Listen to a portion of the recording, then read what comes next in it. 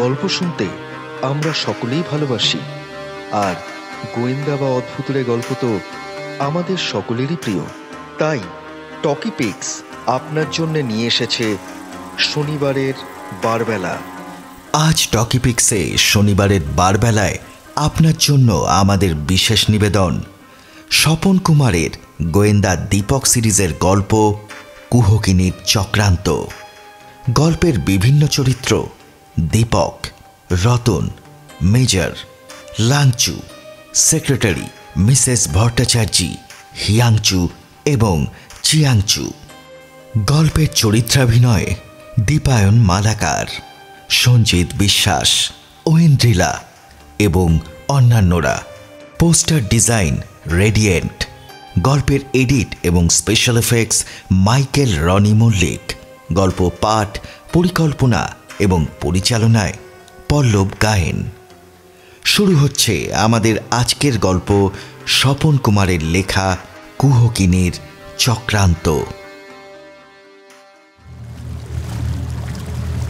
একদিন বিকেলে একখানা ভারতীয় জাহাজ আরব সাগরের তরঙ্গরাশি ভেদ করে গাঢ় কুয়াশার ভেতর দিয়ে বোম্বাই বন্দরের নোঙর করল। এই জাহাজখানা সমুদ্রের মধ্যে শত্রুদের দ্বারা আক্রান্ত হওয়ার আশঙ্কা ছিল। কাজেই একজন লোক জাহাজে প্রহরীর মতো বসেছিল। জাহাজখানিকে নির্বিঘ্নে বন্দরে পাঠিয়ে লোকটি সেখান থেকে চলে গেল। জাহাজ বন্দরে ভেরার সাথে সাথে জাহাজের আরোহীগণ যেটিতে অবতরণ করে অদূরবর্তী রেলওয়ে স্টেশনের দিকে চলল। এই সব যাত্রীরা অধিকাংশই খাকির পোশাক পরা ছিল, যুদ্ধ থেকে ফিরে আসা সৈনিকদের মতো। তারা স্টেশনে এসে কলকাতার ট্রেনের জন্য অপেক্ষা করতে লাগল। তাদের মধ্যে কয়েকজন আহত সৈনিক ছিল। কারও কারও আঘাতজনিত ক্ষত ভালো হলেও তারা সম্পূর্ণ কার্যক্ষম হয়নি। এই যোদ্ধাদের মধ্যে মাত্র একজনের গায়ে সামরিক পোশাক ছিল না। একটা সুদীর্ঘ চেস্টার ফিল্ড কোটে তার সারা দেহ ঢাকা ছিল। মাথায় হ্যাট এবং হাতে একটা ছাতা। লোকটা তীক্ষ্ণ দৃষ্টিতে আশেপাশে চেয়ে দেখছিলেন, যেন কাউকে খুঁজছেন। কিন্তু এই একই সময় আরও দুজন লোক দূর থেকে এই লোকটির ওপর দৃষ্টি রাখছিল। এই দুইজনের একজন ভারতীয় সামরিক পোশাক পরা জোয়ান, তার বাম হাতখানা ফিতে দিয়ে গলার সাথে বাঁধা। দেখলে মনে হয় যুদ্ধে তার হাতখানা ভেঙে গেছে। দ্বিতীয় লোকটির গায়ে অশ্বারোহীর পোশাক ছিল। এই দুজন লোকের মধ্যে যে পরিচয় আছে তা তাদের ভাবভঙ্গি দেখে বুঝবার উপায় ছিল না। কিছু সময় পরে একটা ভারতীয় যুবক আহত ভদ্রলোকটির কাছে এলো। দুজনে স্টেশনের একটা জনবিরল জায়গায় উপস্থিত হলো। এই সুদীর্ঘ, লম্বা, পোশাক পরা লোকটি আর কেউ নন, সুবিখ্যাত ডিটেকটিভ দীপক। কিন্তু ছদ্মবেশে তাকে চিনবার কোনো উপায় নেই। আর তার সাথে এই ভারতীয় যুবকটি হলো তার অ্যাসিস্ট্যান্ট রতন। কাছে কেউ নেই দেখে রতন দীপককে আস্তে আস্তে বলল খবর ভালো তো? দীপক বলল হ্যাঁ এখনও পর্যন্ত তো ভালো। এর মধ্যে দুবার আক্রমণ হয়ে গিয়েছে কিন্তু আমার বুদ্ধি কৌশলে তা বৃথা হয়েছে। তবে যে আক্রান্ত হয়েছিল সে তা বুঝতে পারেনি। রতন বলল তবে আর বোধহয় কোনো ভয় নেই। সে কথা বলা যায় না এখনও অনেক কিছু হতে বাকি। কলকাতায় এসে আবার ওকে বিপন্ন হতে হবে কি না তা বলা কঠিন। এখন আর কোনো কথার প্রয়োজন নেই। আর ট্রেনের সময় হয়েছে তুমি আমায় অনুসরণ করো। আমি যে গাড়িতে উঠব তুমিও সেই গাড়িতে উঠবে। দীপক স্টেশনের কাছে এসে যে কামরায় উঠবে বলে মনে করল দেখল তার দরজায় রিজার্ভেশনের টিকিট বাঁধা আছে। দরজা, জানলা সবই বন্ধ। দীপক মুহূর্তকাল ইতস্তত করে রেলের চাবির সাহায্যে ডান হাতে সেই কামরার দরজা খুলে ফেলল। তারপর একখানা বেঞ্চি অধিকার করতে রতন সেই কামরায় উঠে দরজা বন্ধ করে দিল। এর মধ্যে সেই আগের কোটধারী ভদ্রলোকটা সেই কামরার সামনে উপস্থিত হলেন। তাকে দেখা মাত্র। দীপক দরজা ছেড়ে একটু দূরে সরে বসল। আগন্তুক ভদ্রলোকটা দরজার হাতলে চাপ দিয়ে দরজার ঠেলা মাত্র তা খুলে গেল। এটা দেখে তিনি সবিস্ময়ে বললেন, কি আশ্চর্য! দরজা বন্ধ নেই। রেলের লোকগুলো ভয়ানক অসাবধান। কর্তব্যের প্রতি এদের কোনো লক্ষ্য নেই। আমি একটা কামরা রিজার্ভ করবার জন্য টেলিগ্রাম করেছিলাম কিন্তু এরা রিজার্ভ কামরার দরজা খোলা রেখেছে। ভদ্রলোকটি অপ্রসন্ন মনে গাড়ির ভেতর প্রবেশ করে দেখলেন দুজন লোক সেই কামরায় বসে আছে। তিনি অত্যন্ত বিরক্তভাবে বললেন মশাই আপনাদের কি চোখ নেই যে রিজার্ভ কামরায় উঠে বসেছেন?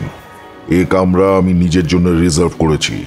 দীপক বলল চোখ আছে বই কি?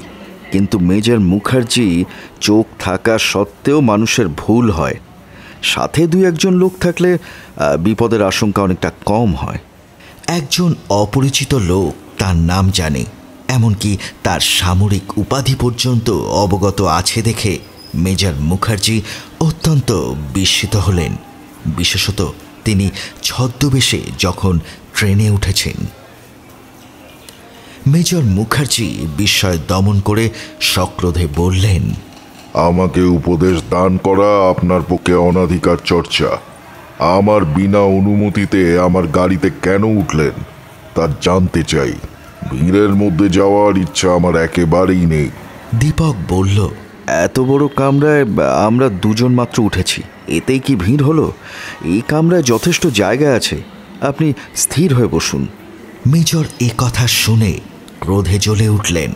চিৎকার করে বললেন আমি এই মুহূর্তেই গার্ডকে ডেকে আপনাদেরকে গাড়ি থেকে নামিয়ে দেব। এখানে আপনাদের জায়গা হবে না। মেজর জানলা দিয়ে মুখ বার করে গার্ডকে ডাকতে উদ্যত হলেন। এমন সময় দীপক তার সামনে এসে বাধা দিল এবং এমন ধাক্কা দিল যে তাকে বসে পড়তে হলো। এর মধ্যে আগের অশ্বারোহীর পোশাক পরা লোকটা সেই কামরার সামনে এলো। দীপক হঠাৎ বসে পড়ে সেই কামরার দরজা সজোরে টেনে ধরে রাখল। সেই লোকটা দরজার হাতল ধরে ক্রমাগত ঠেলাঠেলি করতে লাগল, কিন্তু দরজা খুলল না দেখে সে একটা সিগারেট মুখে গুঁজে ট্রেনের জানলা দিয়ে মাথা ভেতরে দিয়ে তারপর বিদেশি লোকের মতো স্বরে বলল, এ কি রকম অবস্থা মশাই? আপনি কি সমস্ত গাড়িখানাই দখল করতে চান? আমাকে ভেতরে যেতে দিন। লোকটা মুখে সিগারেট গুঁজে তা মেজর মুখার্জির ঠিক নাকের কাছে এনে এই সব কথা বলছিল। মেজর মুখার্জি দীপকের ব্যবহারে অত্যন্ত বিরক্ত হয়েছিলেন। তারপর এই আগন্তুকের এই সব কথা শুনে তিনি ক্রোধে আগুন হয়ে উঠলেন এবং এই অবস্থায় কি কর্তব্য তা স্থির করতে না পেরে সক্রোধে আগন্তুকের মুখের দিকে চেয়ে রইলেন এবং তার জীবন কীরকম সংকটাপূর্ণ হয়ে উঠেছে তা তিনি কল্পনাও করতে পারলেন না। আগন্তুক কামরার ভেতর মাথা ঢুকিয়ে সেইভাবেই দাঁড়িয়ে রইল। তাকে এই অবস্থায় দেখে রতন এক লাফে সেই জায়গায় এলো এবং আগন্তুকের গালে সবেগে এক চর মারল।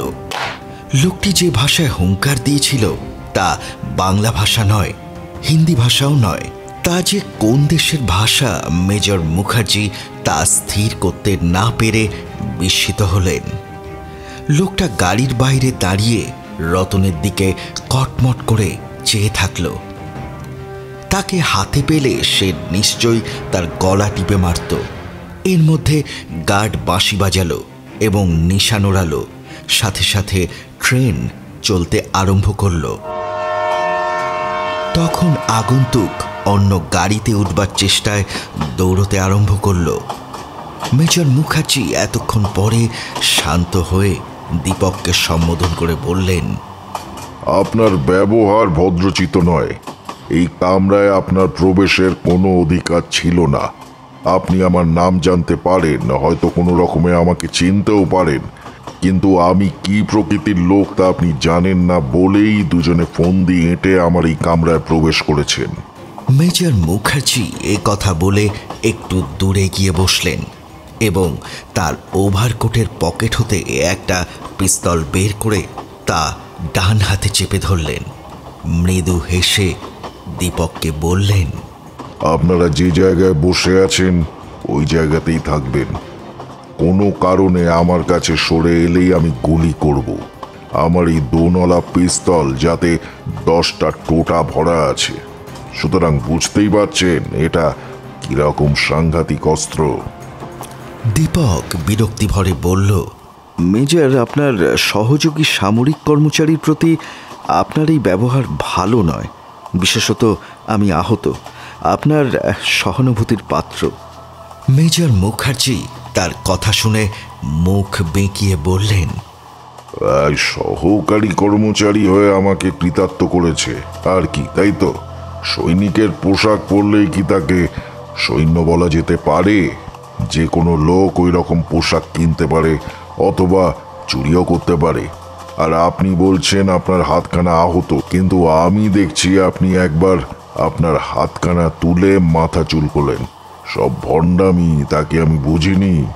দীপক বলল আমার এই হাতে এখনও জোর পাইনি। সম্পূর্ণ আড়ষ্ট হয়ে আছে। গুলি লেগেছিল কি না তাই। এই বলে তখনই সে তার হাত কয়েকবার নাড়াচাড়া করল এবং সেই অবসরে মেজর মুখার্জির দিকে কয়েক পা এগিয়ে গেল। মেজর মুখার্জি পিস্তল তুলে সরসে বললেন সাবধান আপনি আর এক পা কাছে এগোলেই আমি গুলি করব। দীপক একটু দূরে সরে বসল তারপর ধীরে ধীরে বলল মশাই আপনার অনুমান শক্তি যে অত্যন্ত তীক্ষ্ণ তা আপনার চালচলনেই আমি বুঝেছি। নয়তো প্রকৃত বিপদে আপনি উদাসীন হয়ে যেভাবে বিপদের আশঙ্কা করছেন সতর্ক হবেন না কেন? আপনি কি জানেন আপনার বিদেশ হতে যাত্রা করার পর সেই সময়টুকুর মধ্যে তিন তিনবার আপনার জীবন বিপন্ন হয়েছিল? যে গোপনীয় সামগ্রী আপনার সাথে আছে, আপনি বিপন্ন হলে তা কীভাবে রক্ষা করতেন? আর আপনি এতই সতর্ক যে এই সব বিপদের কথা আপনি জানতেই পারেননি। এমনকি অন্য একজন লোক যে সেই তিনবার আপনার প্রাণ রক্ষা করেছিল তা পর্যন্ত বুঝতেও পারেননি আপনি। যে আপনার এত উপকার করেছে, তার প্রতি উপকার স্বরূপ আপনি তাকে পিস্তল তুলে গুলি করতে উদ্যত হচ্ছেন।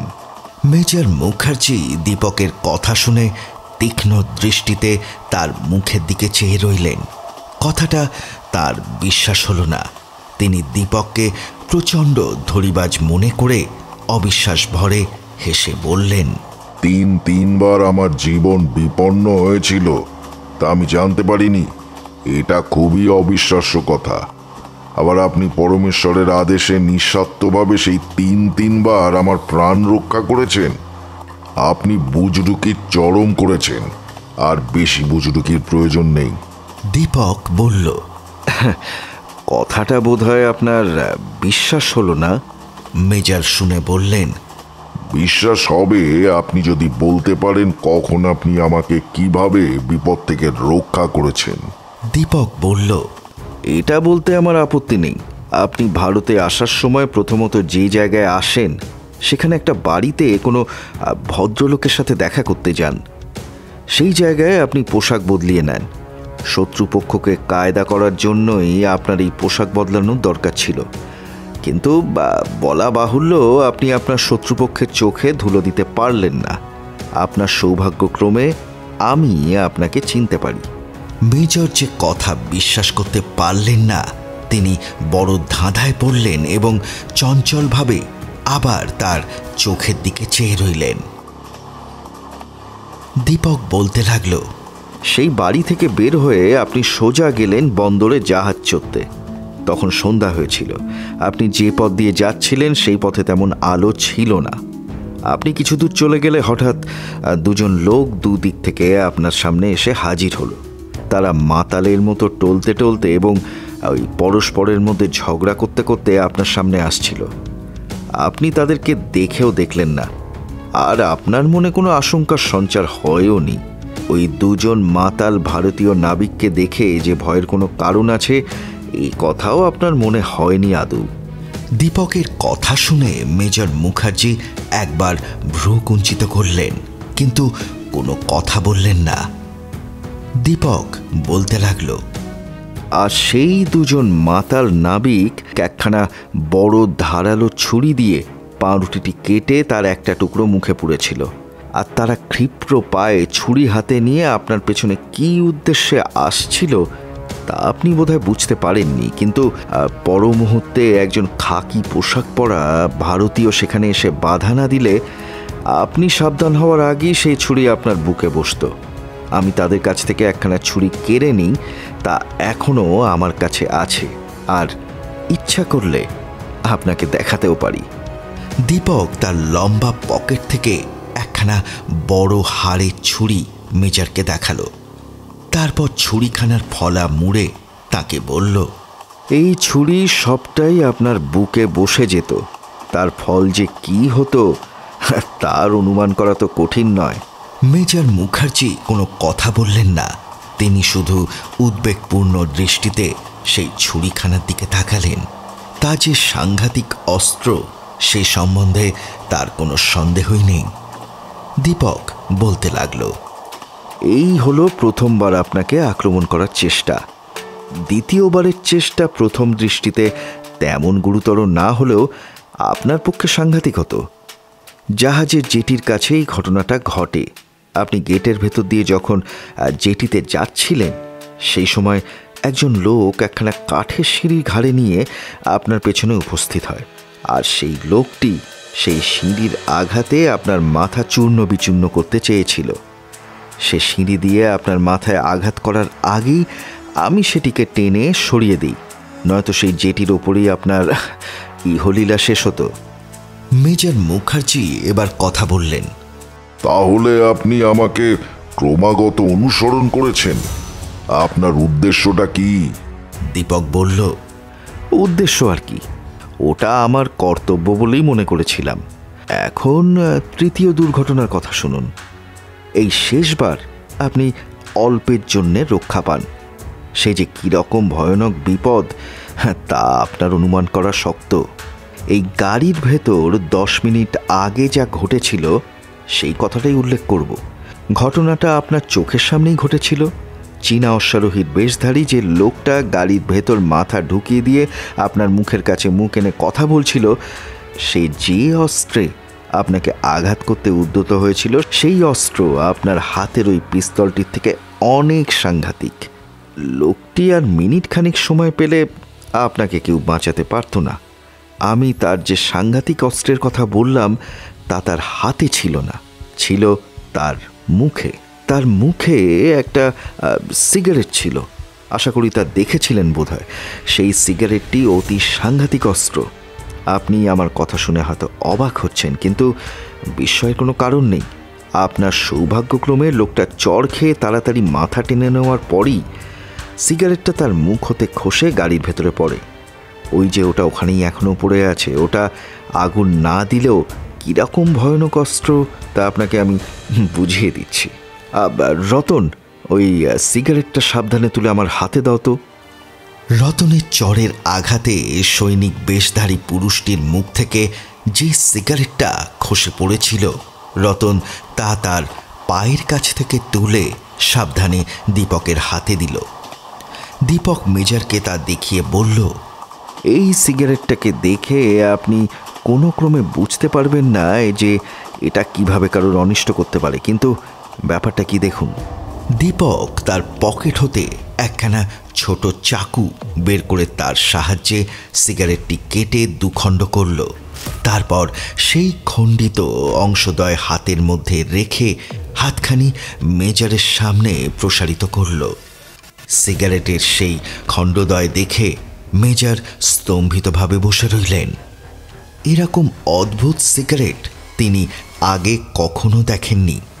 এই সিগারেটের বাইরের দিকটা সাধারণ সিগারেটের থেকে কিছুটা মোটা।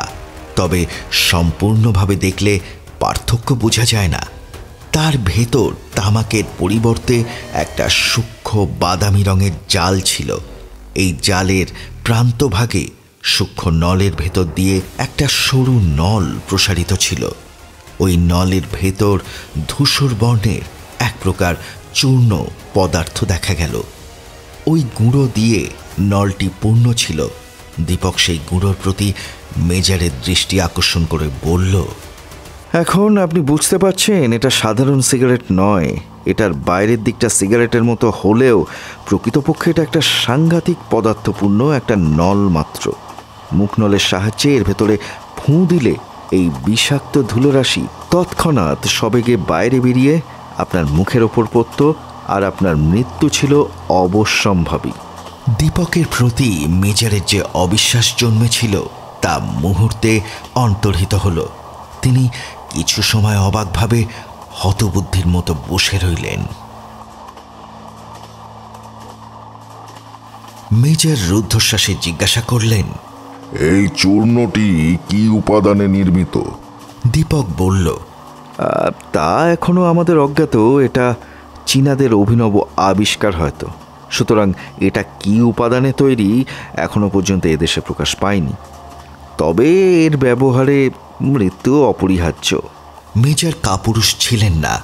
সামনের যুদ্ধে মৃত্যুকে বরণ করতে তার বিন্দুমাত্র আপত্তি ছিল না। তিনি প্রকৃতই সাহসী বীর পুরুষ, কিন্তু দীপকের কথা শুনে তার বুক দূর দূর করে উঠল।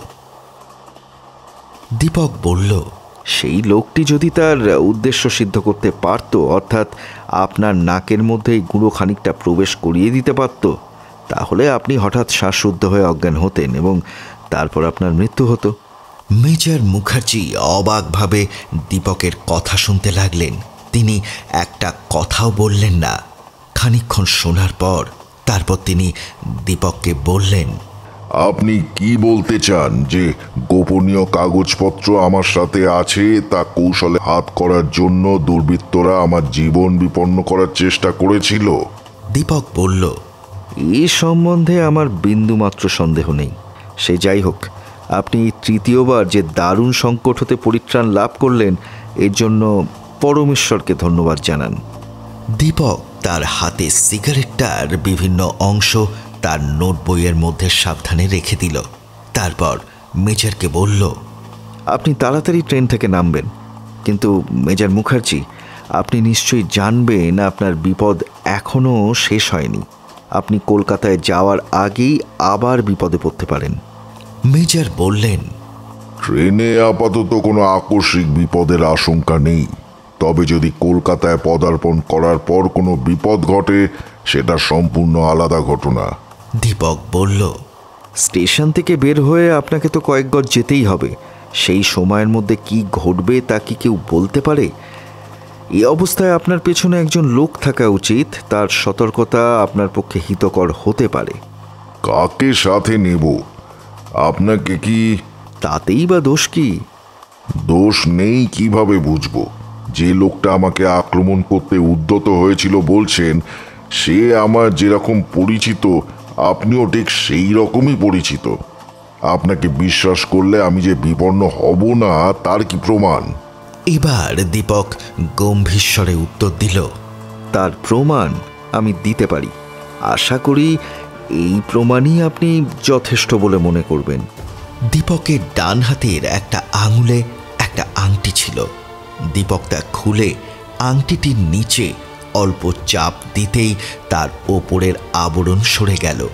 দেখা গেল তার ভেতরে একটা ক্ষুদ্র চিত্র খোদিত আছে। দীপক তা মেজারের চোখের উপর ধরল।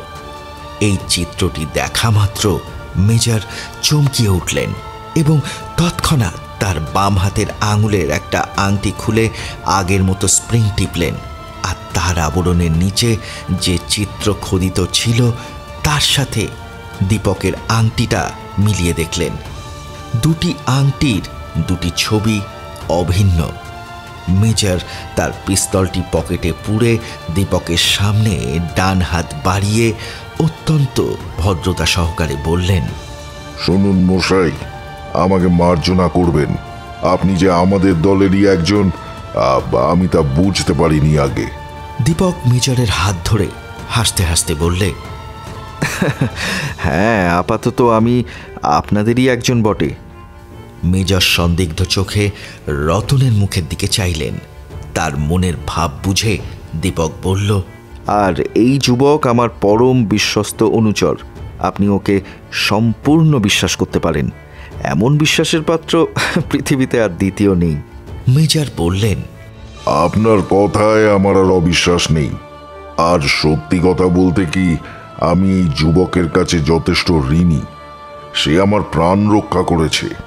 এই যুবক সেই দুর্বৃত্তের গালে চড়ের আঘাত না করলে সিগারেটের অভ্যন্তরের উগ্র বিষ আমার প্রাণান্ত ঘটাত। আচ্ছা তোমার নাম কি? রতন বলল আমার নাম রতনলাল। দীপক বলল দেখুন কলকাতায় আপনার বিপন্ন হওয়ার সম্ভাবনা সব থেকে বেশি।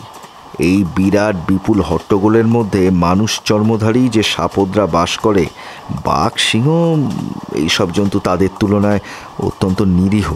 আর যেহেতু স্টেশন থেকে বের হওয়ার পর আপনার বিপদ বাড়বে বই কি কমবে না সুতরাং আপনাকে আমার একটা পরামর্শ দেওয়ার আছে।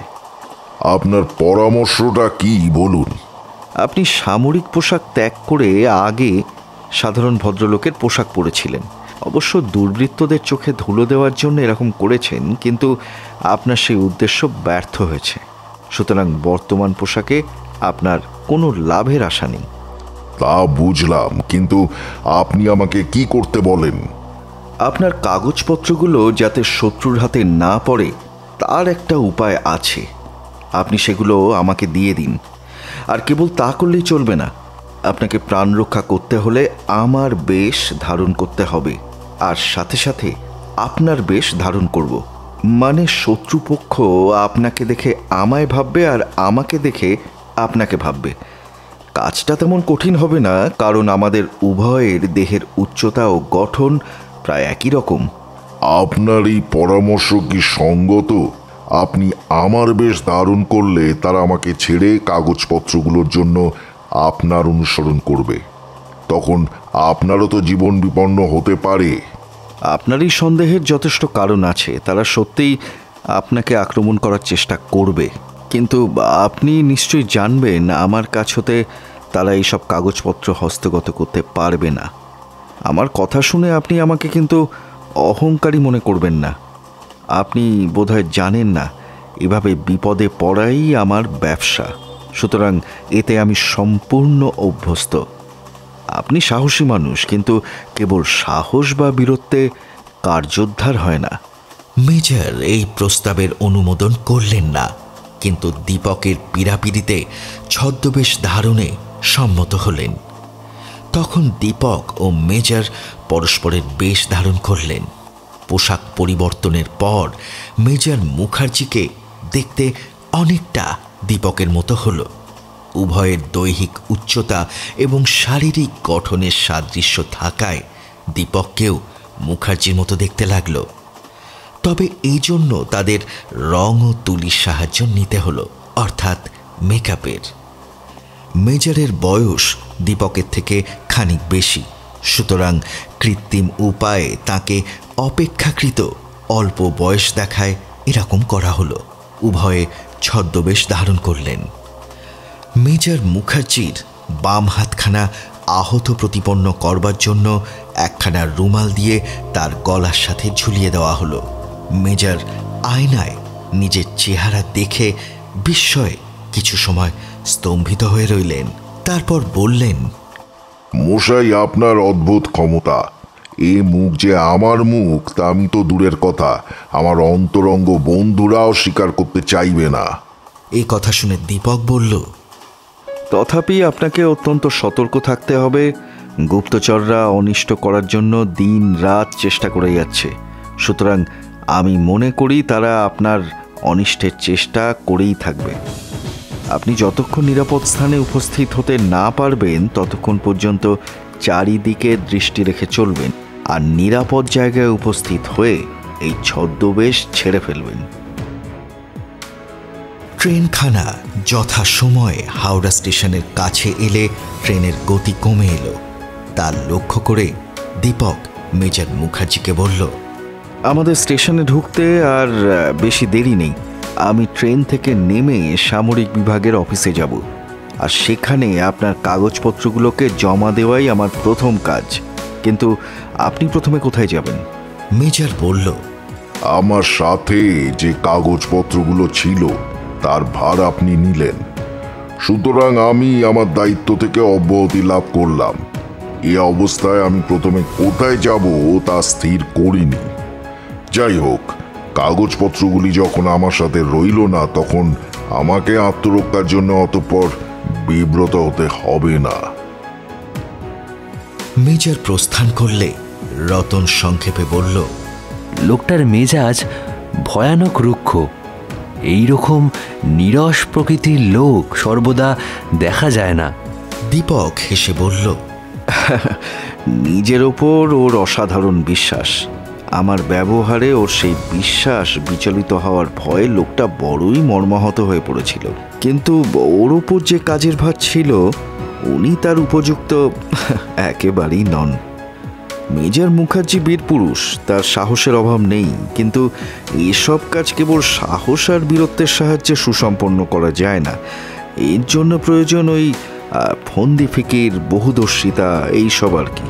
যতক্ষণ পর্যন্ত নিরাপদ স্থানে উপস্থিত না হন, ততক্ষণ পর্যন্ত তুমি তার ওপর সবসময় নজর রাখবে। আপনার আদেশ শিরোধার্য।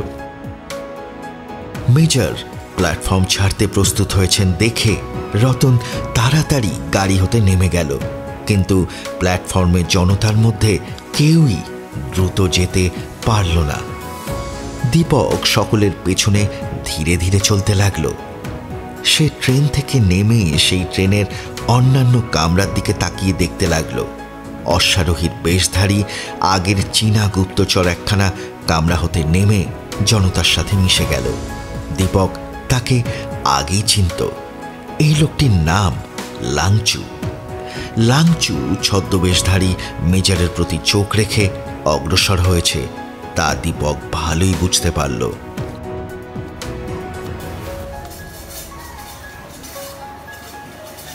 দীপক মনে মনে বলল লাংচু কি মেজর মুখার্জির ছদ্মবেশ ধরতে পারবে? মেজরের ছদ্মবেশে কোনো ত্রুটি না থাকলেও তিনি অভিনয় সুদক্ষ ছিলেন না। তিনি দীপকের বেশ ধারণ করেছিলেন বটে, কিন্তু তার ভাব চলন প্রকৃতির অনুকরণ করা তার সাধ্যাতীত ছিল। লাংচু যেমন বুদ্ধিমান ও তীক্ষ্ণ দৃষ্টিসম্পন্ন লোক, তাতে ছদ্মবেশী মেজারের এই সব ত্রুটি যে তার দৃষ্টি অতিক্রম করবে, এটা দীপক বিশ্বাস করতে পারল না।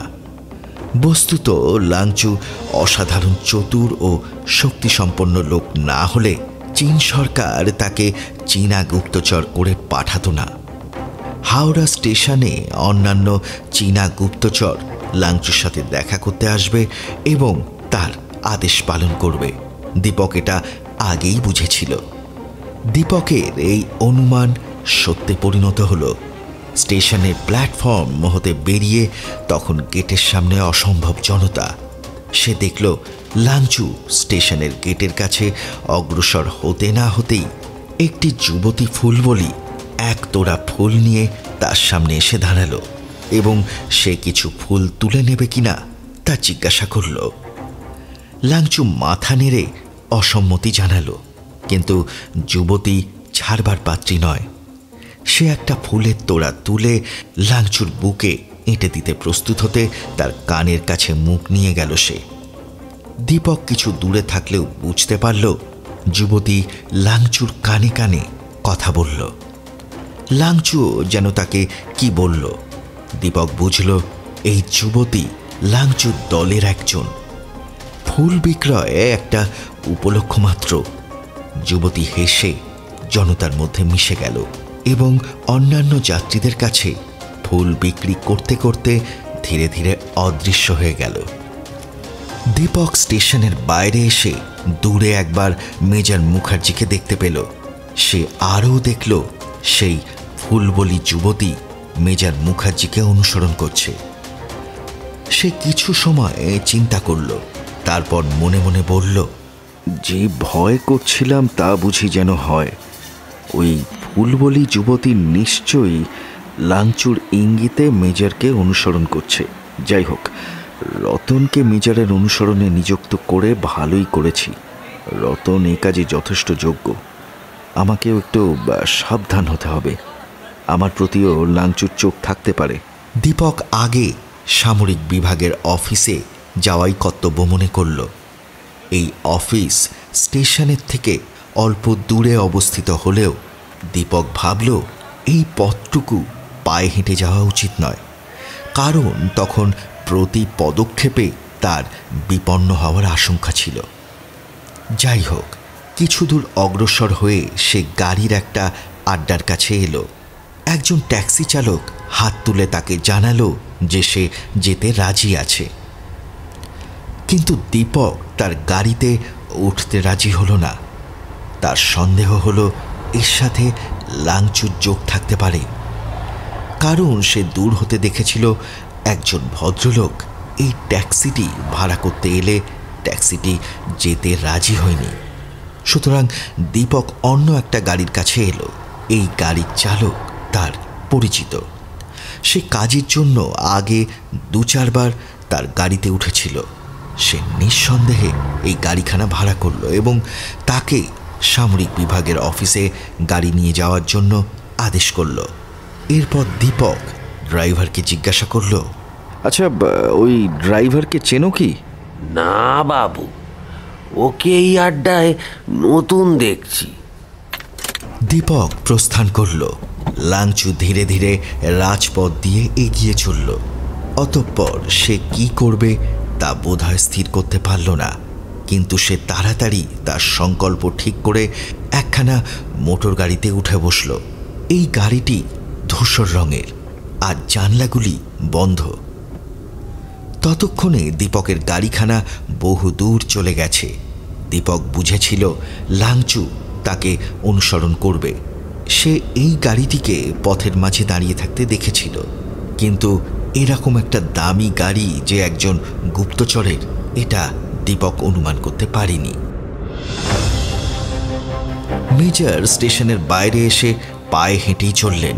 শেষে যে জায়গায় আসলেন, লাংচুর গাড়িটি তখনও পর্যন্ত সেই জায়গাতেই ছিল। লাংচুও দূরে দাঁড়িয়েছিল লাংচু কখন মেজারের অলক্ষ্যে মোটর গাড়িতে উঠে বসেছিল তা মিস্টার মুখার্জি বুঝতে পারলেন না। বিশেষত গাড়িখানার দরজা বন্ধ ছিল। এবং তার অভ্যন্তর ভাগ সম্পূর্ণ অন্ধকারাবৃত ছিল।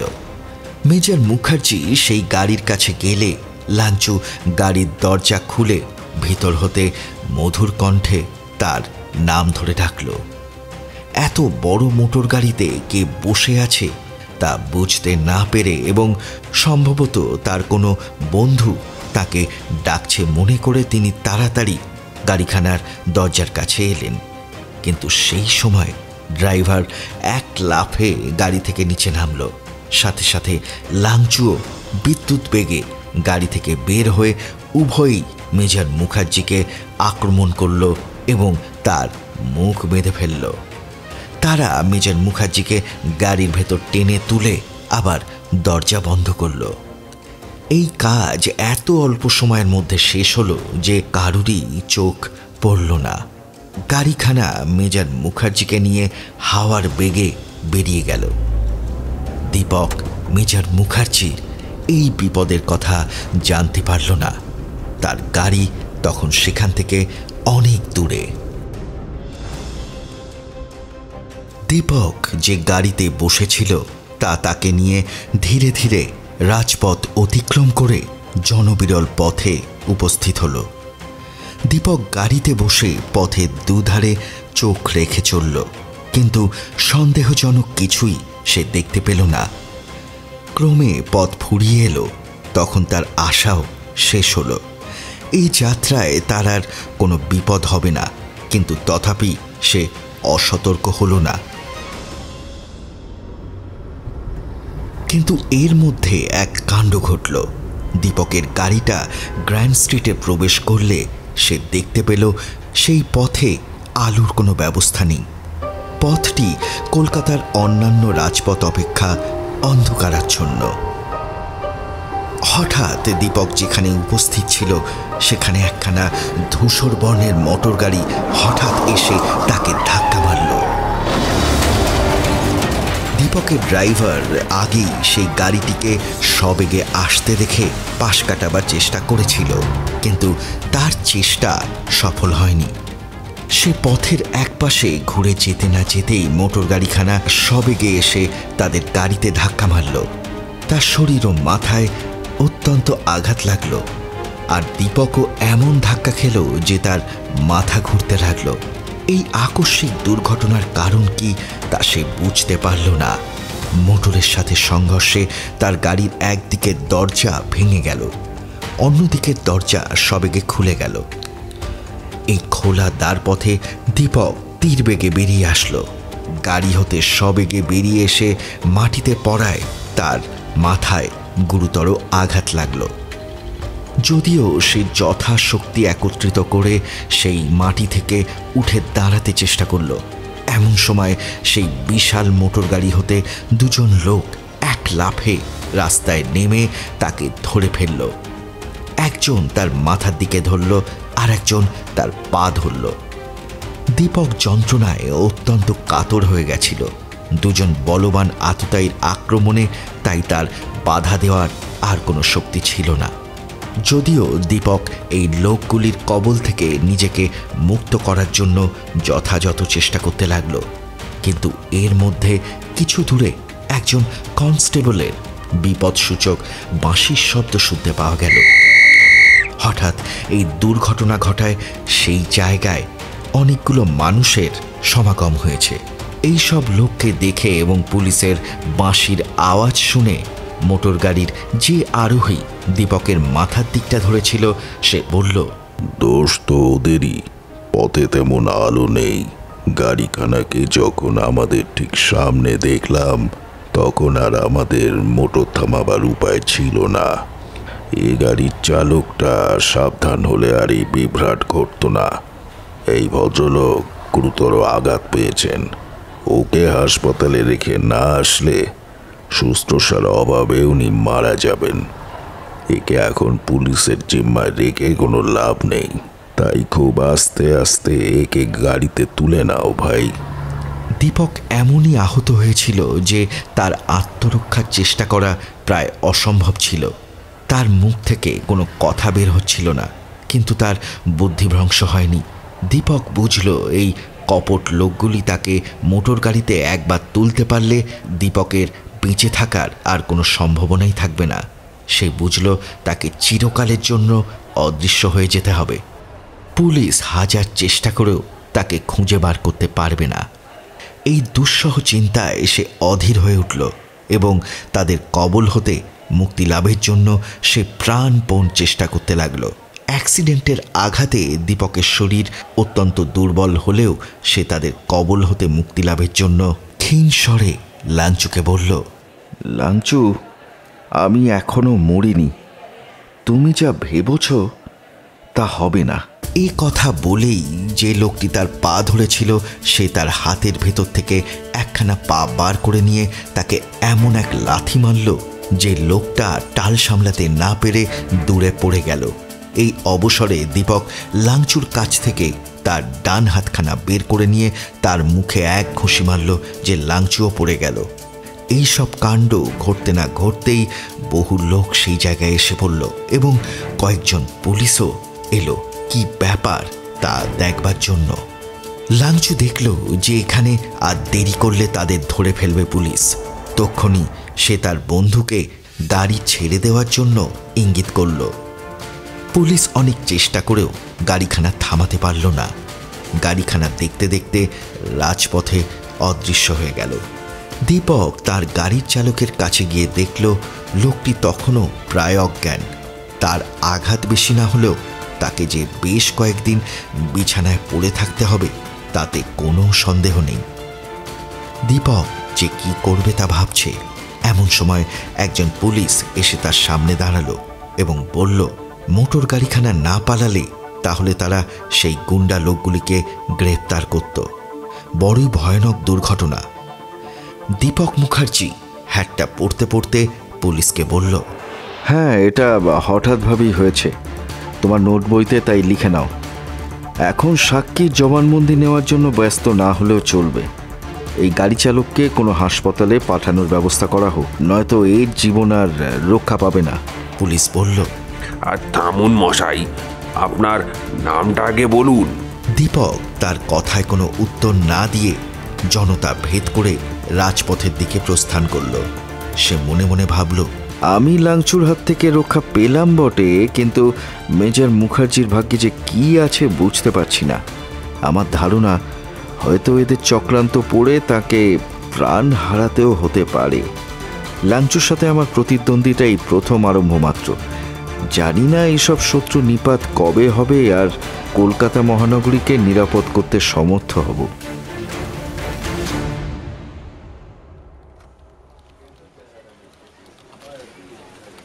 দীপক যথাসময়ে সামরিক বিভাগের অফিসে এলো। সেক্রেটারি মহাশয় অত্যন্ত গম্ভীরভাবে বললেন অন্যায় ভয়ানক অন্যায়। দীপক তার মন্তব্যে কর্ণপাত না করে মেজর মুখার্জির কাছ থেকে নেওয়া একখানা পুরু লিফাফা তার হাতে দিল। দীপক বলল আচ্ছা শুনুন মেজর মুখার্জির কোনো অপরাধ নেই। তিনি কর্তৃপক্ষের আদেশ পালন করবার জন্য যথাযথ চেষ্টা করছেন।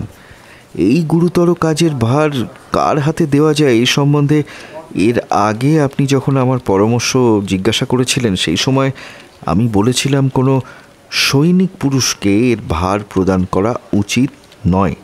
কারণ তিনি যতই সাহসী আর বুদ্ধিমান হন, চীনা গুপ্তচরের চাতুর্য ভেদ করা তার পক্ষে সম্ভব হবে না। কেবল সাহস আর বুদ্ধি থাকলেই তাদের চোখে ধুলো দিয়ে কাজ উদ্ধার করা যায় না। সেক্রেটারি মাথা নেড়ে বললেন, সত্য। এ কথা সম্পূর্ণ সত্য। আমাদের গোয়েন্দা বিভাগের কর্মচারীরা এইসব চীন গুপ্তচরের দুর্বিসন্ধি সম্বন্ধে কোনো কথা আমাদের গোচর করতে পারছে না।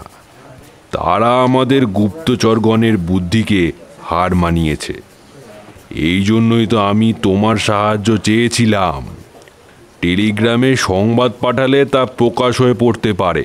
কারণ সাংকেতিক ভাষায় লেখা সংবাদের অর্থও তারা নানা কৌশলে বুঝে নেয়।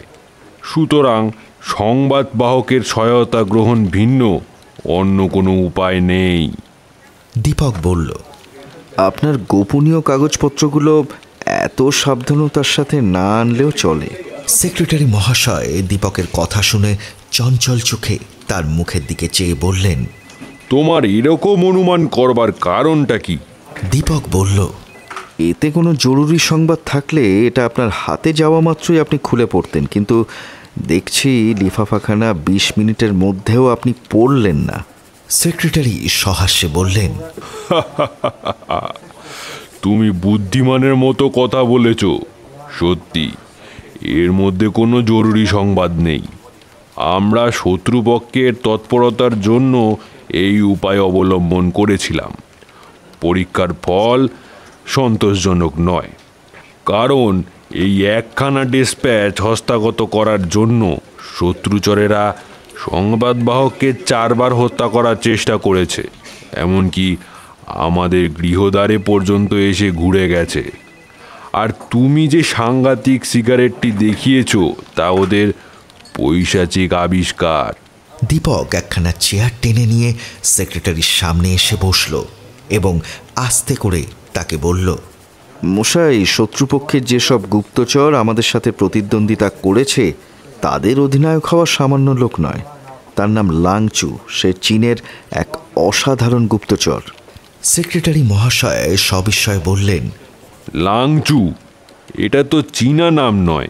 দীপক বলল লাংচুয়ের প্রকৃত নাম নয়, এর অনেকগুলো উপনামও আছে। এইসব উপনামে বিভিন্ন জায়গায় সে পরিচিত। বহু দেশেই ও গুপ্তচরের কাজ করেছে। অবশেষে চীনারা ওকে বহুমূল্য দিয়ে কিনে নিয়েছে।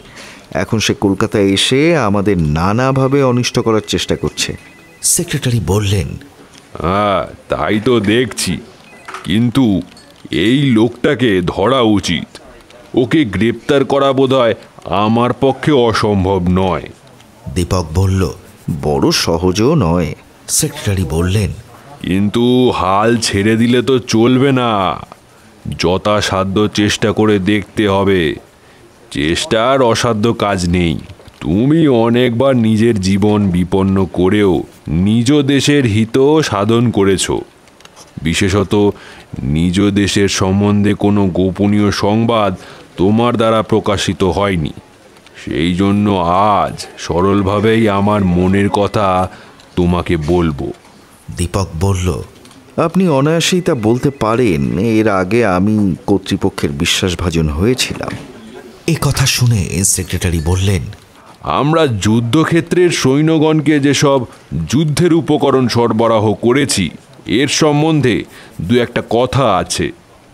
যুদ্ধের আগে ঠিক কোন দিন কোন সময় তা তাদের হাতে যাবে এটা জানতে পারলে যুদ্ধে প্রবৃত্ত হতে তাদের অসুবিধা হয় না।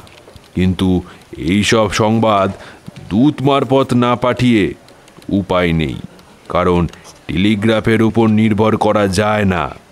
তাহলে ফল কি হবে তা তুমি বুঝতে পারছ। হ্যাঁ সাংঘাতিক হবে তাতে সন্দেহ নেই।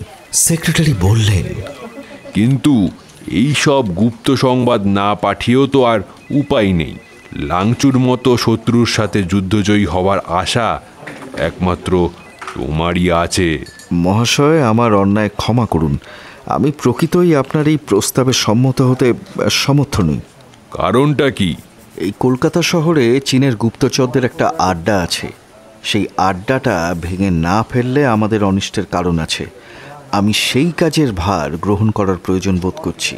কলকাতা নগরে শত্রুদের একটা আড্ডা আছে। নিশ্চয়ই আছে আমি না জেনে আপনাকে এ কথা বলছি না। আর যে দুর্ঘটনা ঘটল তা তো তাদেরই চক্রান্তের ফল। আর এর দৃষ্টান্ত আমি আপনাকে হাতে হাতে দিতে পারি। কীরকম দৃষ্টান্ত? আমি তোমার কথার মর্ম ঠিক বুঝতে পারলাম না। দীপক আস্তে আস্তে বলল আমি আপনাকে বুঝিয়ে দিচ্ছি। লাংচু নিশ্চয়ই অনুমানের ওপর নির্ভর করে মেজার মুখার্জিকে অনুসরণ করেনি। সে নিশ্চয়ই কোনোভাবে জানতে পেরেছে যে সে কখন কোনখানে যাবে, তারপর কোথায় যাবে। এই সব জেনে তবেই তাকে অনুসরণ করেছে। এই সব ঘটনা হতেই বোঝা যায় যে এই সব সংবাদ আপনার অফিস থেকেই প্রকাশ পেয়েছে। আমার বিশ্বাস, এই ঘরে যাদের আসা যাওয়া আছে, এ কাজ তাদের মধ্যেই একজনের। এ অসম্ভব। আমার অফিস হতে আমার লোকজনের দ্বারা গুপ্ত সংবাদ শত্রুদের গোচর হবে এ কথা বিশ্বাসের অযোগ্য। তারা যে সন্দেহের পাত্র, এ কথা আমিও বলছি না, কিন্তু অন্য লোকও তো এই ঘরে প্রবেশ করে। আর ঠিক এই ঘরে প্রবেশ না করলেও পাশের কোনো ঘরে তাদের গতিবিধি থাকাও সম্ভব। অন্য লোকের মধ্যে বেয়ারা পিয়ন বা এই শ্রেণির পরিচারক দু একজন আসে বটে। কিন্তু দীপক বাধা দিয়ে বলল ক্ষমা করুন মহাশয় আমি এদের কথা বলছি না। আমার মনে হচ্ছে এখানে এমন কোনো লোক আছে যে আপনার আদেশ পালন করবার জন্য সব সময় এই ঘরের আশেপাশে কোথাও থাকে। সেক্রেটারি মহাশয় দীপকের কথা শুনে কিছু সময় কি চিন্তা করে তারপর বললেন হ্যাঁ পাশের ঘরে একজন আরদালি থাকে কিন্তু সে কখনো এ ঘরে প্রবেশ করে না। কিন্তু এই সব তুচ্ছ কথা নিয়ে অযথা সময় নষ্ট করছ কেন? এসব কথা আলোচনার এখন সময় নয়। আমার তো মনে হয় এটাই প্রকৃত সময়। আমি যা ভালো মনে করি তা করি। কিন্তু সেই কাজে যদি কেউ বাধা দেয় তাহলে আমি সেই কাজে হাত দেই না। এটাই আমার কাজের নিয়ম। দীপক এ কথা বলে চেয়ার ছেড়ে উঠে দাঁড়াল। দেখল দেওয়ালে একখানা ক্যালেন্ডার ঝুলছে। সে সেই ক্যালেন্ডারখানা নেড়ে চেড়ে দেখল। সেক্রেটারি মশাই কিছু সময় চিন্তা করে বললেন আমাদেরকে তোমার সাহায্য নিতে হবে। তুমি যে কাজ করতে চেয়েছো তা অত্যন্ত প্রয়োজনীয়। কাজেই সে কাজই আগে করতে হবে। অন্য কাজ পরে করলেও চলবে। দীপক আগেই সেই ক্যালেন্ডারের ভেতর ভালো করে দেখল। সেক্রেটারির কথা তার কানে প্রবেশ করেছিল কিনা তার সন্দেহ। তারপর দীপক টেবিলের কাছে ফিরে এসে আস্তে আস্তে বলল আপনি যার কথা বলছেন তাকে একবার এখানে ডাকবেন কি? তার চেহারাখানা একবার দেখতে চাই। সেক্রেটারি বললেন কার কথা বলছো? আমার আরদালিকে দেখতে চাও নাকি? দীপক বলল হ্যাঁ তাকেই একবার দেখব কিন্তু আমার সামনে তাকে ডাকবেন না। আমি আপনার কাছ থেকে চলে যাচ্ছি এমনই ভান করে এই ঘর থেকে চলে যাব। তারপর সে আসলে আমি কিছু ভুলে গেছি এমনভাবে ফিরে এসে আবার আপনার এই ঘরে প্রবেশ করব। আমার বিশ্বাস অতি অল্প সময়ের মধ্যে একটা রহস্যের সমাধান আপনার কাছে আমি তুলে ধরতে পারব। সেক্রেটারি ভ্রু কুঞ্চিত করে বললেন তোমার কথাগুলো ক্রমেই হেয়ালির মতো দুর্বদ্ধ হয়ে উঠছে। তুমি ক্রমাগত আমার সময় নষ্ট করছ। তাড়াতাড়ি আপনার এই ধারণা চলে যাবে। আপাতত আমি চললাম। এরপর দীপক সেই ঘর ছেড়ে বেরিয়ে গেল। দীপক চলে গেলে সেক্রেটারি মহাশয় তার বৈদ্যুতিক ঘণ্টাটা টিপলেন। কয়েক মিনিট পরে একজন আর্দালি সেই ঘরের মধ্যে এলো।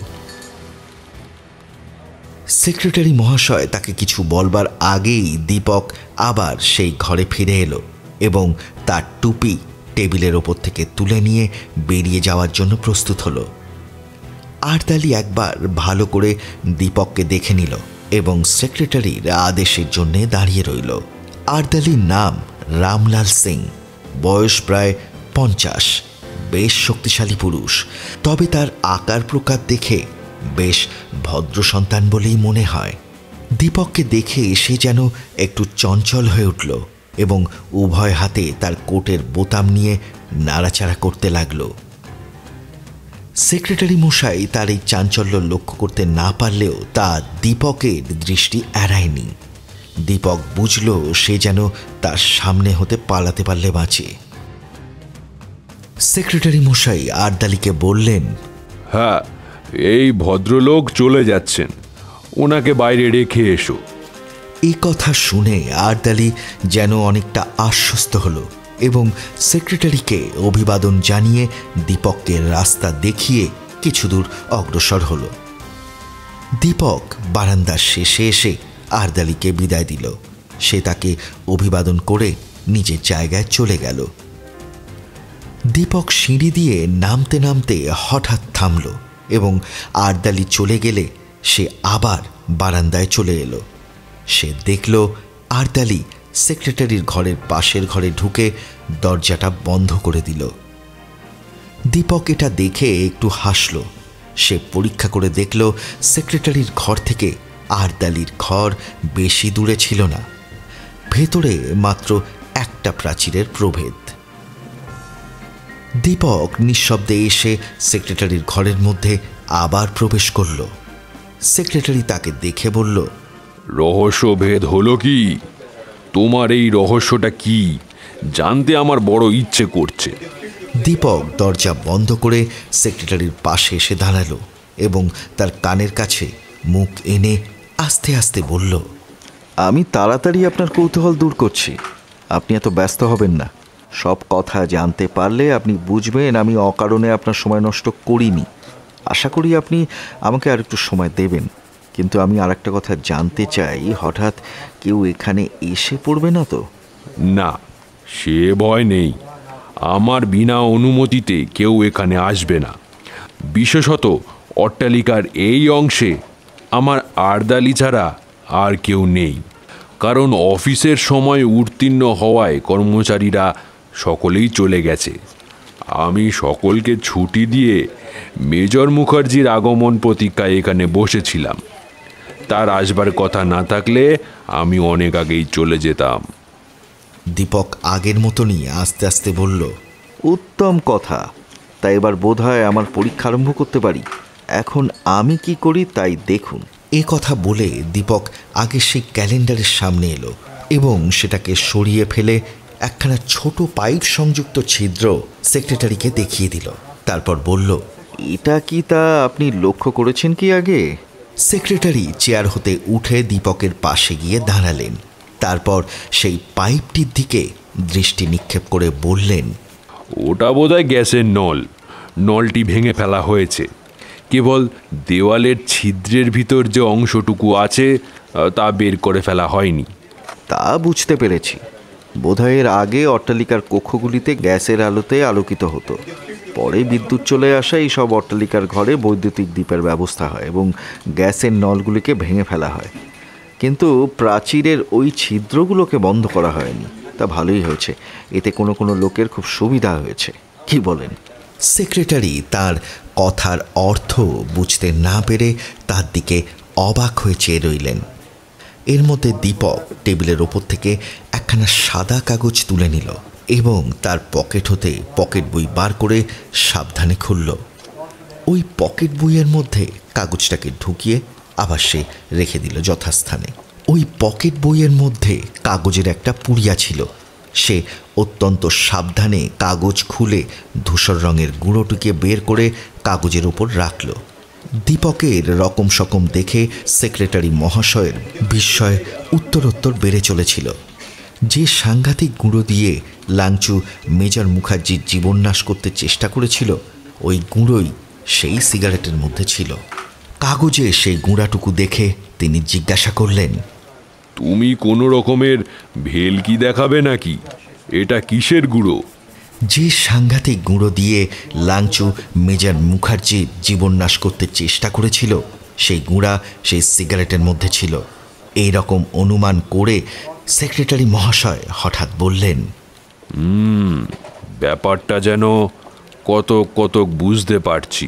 দীপক সেই কাগজখানা একখানা লম্বা নলের মতন করে পাকিয়ে আগের মতো আস্তে আস্তে বলল আমি আপনাকে যে সিগারেটের কথা বলেছিলাম যে সিগারেটটা কিছু কেমিক্যাল গুঁড়োয় পূর্ণ ছিল? সেক্রেটারি বললেন কিন্তু তুমি আমাকে যে বলেছিলে সে পদার্থটা অত্যন্ত উগ্র বিষ। এর দ্বারা নাকি মানুষকেও খুন করা যেতে পারে। তুমি এইরকম উগ্র বিষ দিয়ে কি খেলা খেলবে মনে করেছ? দীপক বলল আপনার কোনো আশঙ্কার কারণ নেই। আমি গুঁড়োগুলো অল্প পরিমাণেই ব্যবহার করেছি। এতে প্রকৃতই যদি কোনো লোকের ক্ষতি হয় তাহলে আপনি বা আমি কেউ দায়ী নই কারণ এর দ্বারা আমি বা আপনি স্বেচ্ছায় কারোর কোনো ক্ষতি করতে চাইনি। সেক্রেটারি বললেন তবে তুমি যা ইচ্ছা করতে পারো। আশা করি তোমার চেষ্টা সফল হবে। দীপক সেক্রেটারির মুখের কাছে মুখ এনে কয়েকটা কথা বলল। তা শুনে সেক্রেটারির চোখ আনন্দে উজ্জ্বল হয়ে উঠল। তখন দীপক স্বাভাবিক স্বরে বলল এই জন্যই আমি আপনার কাছে এসেছি। আপনি যে ডিসপ্যাচটা পাঠাবার কথা বলছেন তা কোন দিন কোন সময় কার দ্বারা পাঠানো হবে তা জানতে এলাম। বিশেষত সংবাদবাহক কোন পথে যাবে তা আমার জানা দরকার। নয়তো আমি তাকে কোনো রকম সাহায্য করতে পারব না। সেক্রেটারি মহাশয় দীপকের অভিপ্রায় বুঝতে পেরে গলা উঁচু করে বললেন সে কথা সত্য। তুমি একটু অপেক্ষা করো। আমি তোমার সব প্রশ্নের উত্তর দিচ্ছি। তিনি অত্যন্ত কৌতূহলপূর্ণ দৃষ্টিতে দীপকের কাজ দেখতে লাগলেন। দীপক অতঃপর যে কাজের জন্য প্রবৃত্ত হল, তা শিশুসুলভ আমোদজনক অনুষ্ঠান বললেই প্রথম দৃষ্টিতে মনে হয়। তার কাজ দেখে মহাপণ্ডিত ও বুদ্ধিমান সেক্রেটারি কিছুই বুঝতে পারলেন না। দীপক সেই ঘরের আগের সেই গ্যাস পাইপের ছিদ্রের কাছে এসে তা স্পর্শ করল। কিন্তু তা প্রাচীরের কিছু ঊর্ধ্বে থাকায় সেই ছিদ্রের কাছে মুখ নিয়ে যেতে পারল না। তখন সে একখণ্ড তক্তার উপর দাঁড়িয়ে তীক্ষ্ণ দৃষ্টিতে ছিদ্রের অভ্যন্তরভাগ পরীক্ষা করল। সেই ছিদ্রটি যে অন্য ঘর পর্যন্ত প্রসারিত, এ বিষয়ে তার কোনো সন্দেহ ছিল না। কিন্তু সেক্রেটারি মহাশয় এ বিষয়ে সম্পূর্ণ ছিল অনভিজ্ঞ। দীপক বিষাক্ত গুঁড়াপূর্ণ যে কাগজের নলটি প্রস্তুত করেছিল, তার দুই মুখী খোলা ছিল। তার এক মুখ সেই ছিদ্রের ভেতর প্রবেশ করালো এবং সেই নলের অন্যদিকে ওষ্ঠ স্পর্শ করে সবেগে তাতে ফুঁ দিল। সেই ফুঁ দেওয়াতে সমস্ত গুঁড়াগুলি নলের ভেতর থেকে বের হয়ে গেল এবং পরক্ষণেই যেন বোধ হলো ও পাশের ঘরের মধ্যে কোনো বড় জিনিস পড়ে যাওয়ার শব্দ হলো। দীপক সেক্রেটারিকে বলল, আমি একবার বের হয়ে বরঞ্চ দেখে আসি। ততক্ষণ আপনি এখানে অপেক্ষা করুন। আমার বিশ্বাস আমার পরীক্ষা সফল হবে। সেক্রেটারি মহাশয় সহৎসাহে বললেন আমিও তোমার সাথে যাব। উভয়ই সেই ঘর হতে বের হলেন। দীপক অগ্রসর হয়ে আরদালির ঘরের দরজা অল্প খুলে ভেতরের দিকে চেয়ে দেখল আর সেক্রেটারিকে তার অনুসরণের জন্য ইঙ্গিত করে ঘরে প্রবেশ করল। কিন্তু দীপক সেই ঘরে বাইরের হাওয়া যতক্ষণ না ঢুকলো তার আগে ভেতরে ঢুকল না। এই ঘরটি অত্যন্ত ছোট, আর তেমন সেটা সাজানোও নয়। তার মধ্যে রয়েছে একটা ডেস্ক এবং একখানি চেয়ার। তার মধ্যে একটা বৈদ্যুতিক আলো দড়িতে ঝুলছিল, আর সেই আলোতেই দেখা যাচ্ছিল ঘরটা। তারা সেই ঘরে প্রবেশ করে দেখল আরদালির রামলাল সিং দেওয়ালের কাছে চিত হয়ে পড়ে আছে। বৈদ্যুতিক আলো তার মুখের ওপর এসে পড়েছে। তার চোখ দুটি বন্ধ ছিল। দেখে তাদের মনে হলো যেন গভীর নিদ্রায় সে আচ্ছন্ন। তার একখানা হাত গলার কাছে ছিল। দীপক দেওয়ালের অভিমুখে আঙুল প্রসারিত করতে দেওয়ালের একটা ছিদ্রের দিকে সেক্রেটারির চোখ পড়ল। তিনি সেই ছিদ্রটি দেখে বুঝলেন তার অফিস ঘরের দেওয়ালে গ্যাসের পাইপের যে ছিদ্রটি আছে, সেই ছিদ্রটি দেওয়ালের ওপরের অংশে এই ঘর পর্যন্ত প্রসারিত। রামলাল বেশ ছোটোখাটো বলে সে একটা চেয়ার টেনে এনে তার উপর দাঁড়িয়ে এই ছিদ্রের ওপর মাথা রেখেছিল।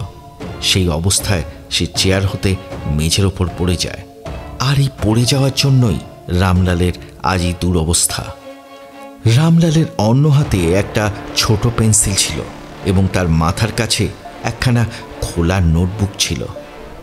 দীপক তাড়াতাড়ি সেই নোটবুকখানা কুড়িয়ে নিয়ে খোলা পাতায় যা লেখা ছিল তা পড়তে আরম্ভ করল এবং কোনো কথা না বলে পড়া শেষ হলে সে সেটা সেক্রেটারির হাতে দিয়ে বলল বলছিলাম রেখাক্ষর বর্ণমালার সাথে আপনার পরিচয় থাকলে এই লেখাটা নিশ্চয়ই পড়তে পারবেন।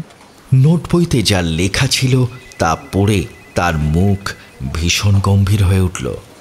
দীপক তার মুখের দিকে চেয়ে বলল আপনি বোধহয় বুঝতে পেরেছেন এখন যে আপনার অফিসের সব গোপন খবর কীভাবে শত্রুদের কানে যায়। আপনার সাথে আমার যা সব কথা হয়েছে অর্থাৎ স্বাভাবিক স্বরে যা যা বলেছি তার সমস্তই এই নোট বইতে লেখা আছে। তাই তো দেখছি। একটা কথাও বাদ পড়েনি। আমি এই নোট বইখানা নিয়ে যাব। দেওয়ালের কান আছে বলে যে একটা প্রবাদ আছে, এখন দেখছি সেটা মিথ্যে নয়। না মহাশয়, আপনি নোট বইখানা নিয়ে যাবেন না। ওটা ওর পাশে যেভাবে পড়ে আছে, ঠিক ওইভাবে রেখে দিন। আপনার এই আর্দালির কিছুক্ষণ পরেই জ্ঞান ফিরে আসবে। তখন যেন সে জানতে না পারে যে আপনি তাকে ধরে ফেলেছেন বা ওই সব কিছু জানতে পেরেছেন। এটা তাকে জানতে না দিলে ভবিষ্যতে আমাদের কাজ অনেক সুবিধাজনক হবে। যে চীনা গুপ্তচরদের পরামর্শে সে এমন বিশ্বাসঘাতকতার কাজ করেছে আমরা কৌশলে তার উদ্দেশ্য বিফল করব। তবে কি লোকটা মরেনি? আমি তো মনে করেছিলাম যে ওর দেহে প্রাণ নেই। না মরেনি। তাড়াতাড়ি জ্ঞান ফিরে আসবে সন্দেহ নেই। কিন্তু সে চেয়ারে দাঁড়িয়ে আপনার কথা শুনতে শুনতে যে হঠাৎ কেমন করে মাথা ঘুরে পড়ে গিয়েছিল, তা সে বুঝতে পারবে না। এটা পরে সে মনে করবে তার কোনো শারীরিক দুর্বলতার জন্যে এটা হয়েছিল। দীপকের সহকারী রতন হাওড়া স্টেশন হতে মেজর মুখার্জিকে অনুসরণ করছিল। দীপকের আদেশে সে মেজরের অনুসরণে প্রবৃত্ত হয়েছিল। রতন কিছুদূর অগ্রসর হয়ে দেখল একটা ফুলবলি ফুলের তোড়া নিয়ে সেই পথে চলেছে। মেজরকে অনুসরণ করা সেই ফুললির উদ্দেশ্য কিনা তা সে বুঝতে পারল না। কিন্তু রতন দেখল সেই যুবতী পথের মধ্যে কোনো পথিকের কাছে ফুল বিক্রির চেষ্টা করল না। অথচ তার ঝোড়া তখনও গোলাপ ও অন্যান্য ফুলে পরিপূর্ণ ছিল। রতন মনে করল এই যুবতী হয়তো কোনো দুরভিসন্ধি নিয়ে সম্ভবত কোথাও সে ফুলের যোগান দিতে যাচ্ছে। এখানেই রতন ভুল করল, কিন্তু এই জন্য তাকে দোষী করা যায় না।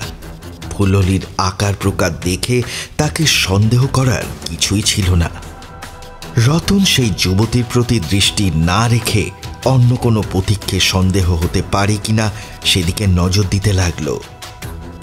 অদূরে চৌরঙ্গির মোড়। মেজর মুখার্জি সেই জায়গায় উপস্থিত হয়ে কোন পথে যাবেন ঠিক করতে পারছিলেন না। মেজার যেখানে দাঁড়িয়েছিলেন, তার পাশেই গাড়ির আড্ডায় একটা বড় মোটর গাড়ি দাঁড়িয়েছিল। এটা লাংচুর সেই মোটর গাড়ি।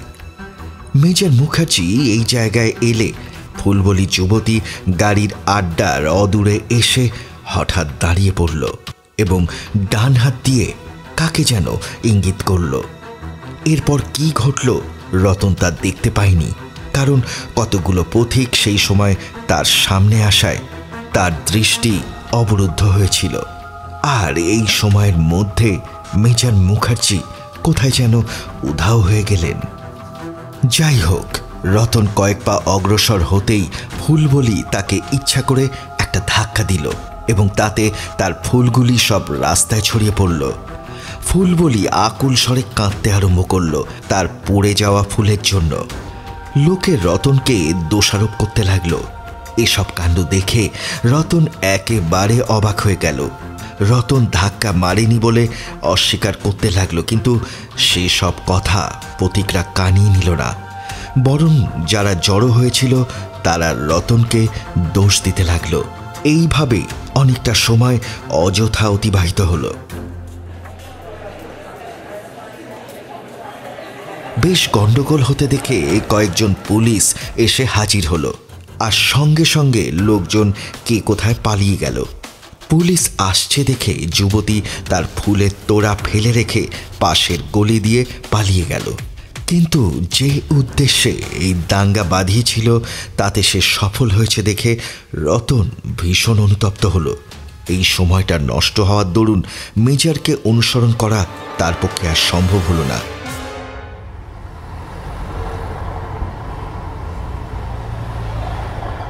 রতন যথাসময়ে বেডান স্ট্রিটে দীপকের বাড়িতে এসে উপস্থিত হলো। দেখল বাইরে তালা বন্ধ।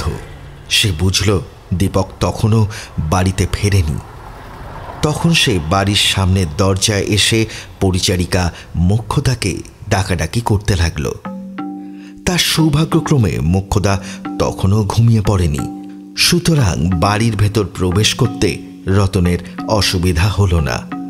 দীপকের অনুপস্থিতির জন্য বিভিন্ন ঘরে তখনও পর্যন্ত আলো জ্বলেনি। রতন বৈদ্যুতিক আলো জেলে আহারের ব্যবস্থা করল। সমস্ত দিন তার রাস্তায় রাস্তায় কেটেছে। তার অত্যন্ত খিদে পেয়েছিল। সুতরাং সে বিলম্ব না করে হাতের কাছে যা পেল তাই দিয়ে পেট পূজায় রত হল। ক্রমে রাত্রি বারোটা বাজল। মোক্ষদা তার বাড়ির কাজ শেষ করে অনেক আগেই দোতলায় চলে গেছে। মধ্যরাত পর্যন্ত মোক্ষদা যে জেগে থাকবে, এটা আশা করা বৃথা। সবেগে তার নাশা গর্জন হতে লাগল। রতন বুঝল, দীপক নিশ্চয়ই কাজের জন্য কোথাও আটকে পড়েছে। অনেক দিনই এরকম হয়েছে। কোনো কোনো দিন দীপক বাড়ি ফিরতে পারত না। ট্রেন থেকে নেমে রতন দীপককে আর দেখতে পায়নি।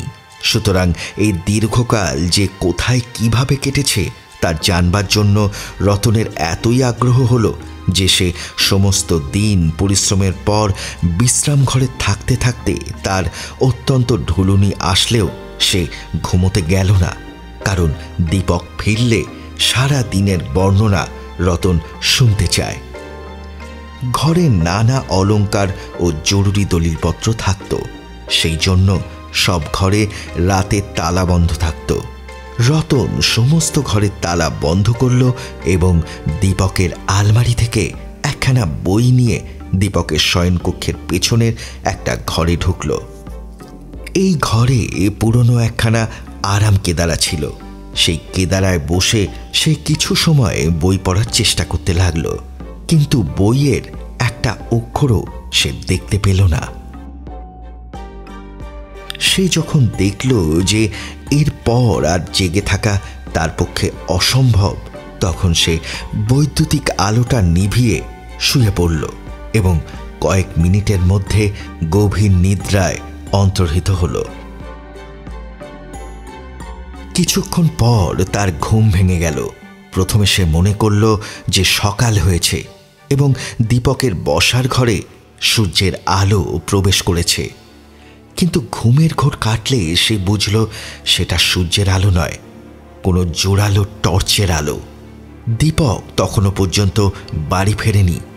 রতন আরাম কেদারা থেকে উঠে দরজা জানলাগুলো পরীক্ষা করে দেখবে মনে করছে, এমন সময় সে দীপকের বসার ঘরে কারুর মৃদু কণ্ঠস্বর শুনতে পেল।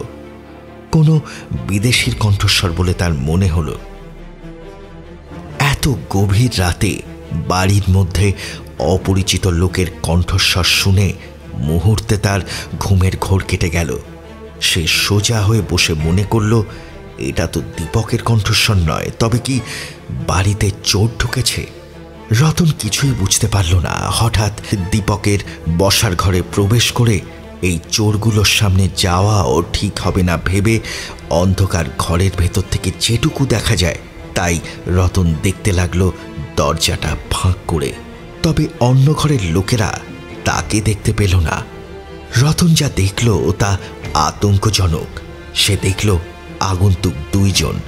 একজন দীপকের ডেস্কের কাছে বসেছিল আর একজন দরজার কাছে দাঁড়িয়েছিল রতন সহজেই বুঝতে পারল এরা ভারতীয় নয়।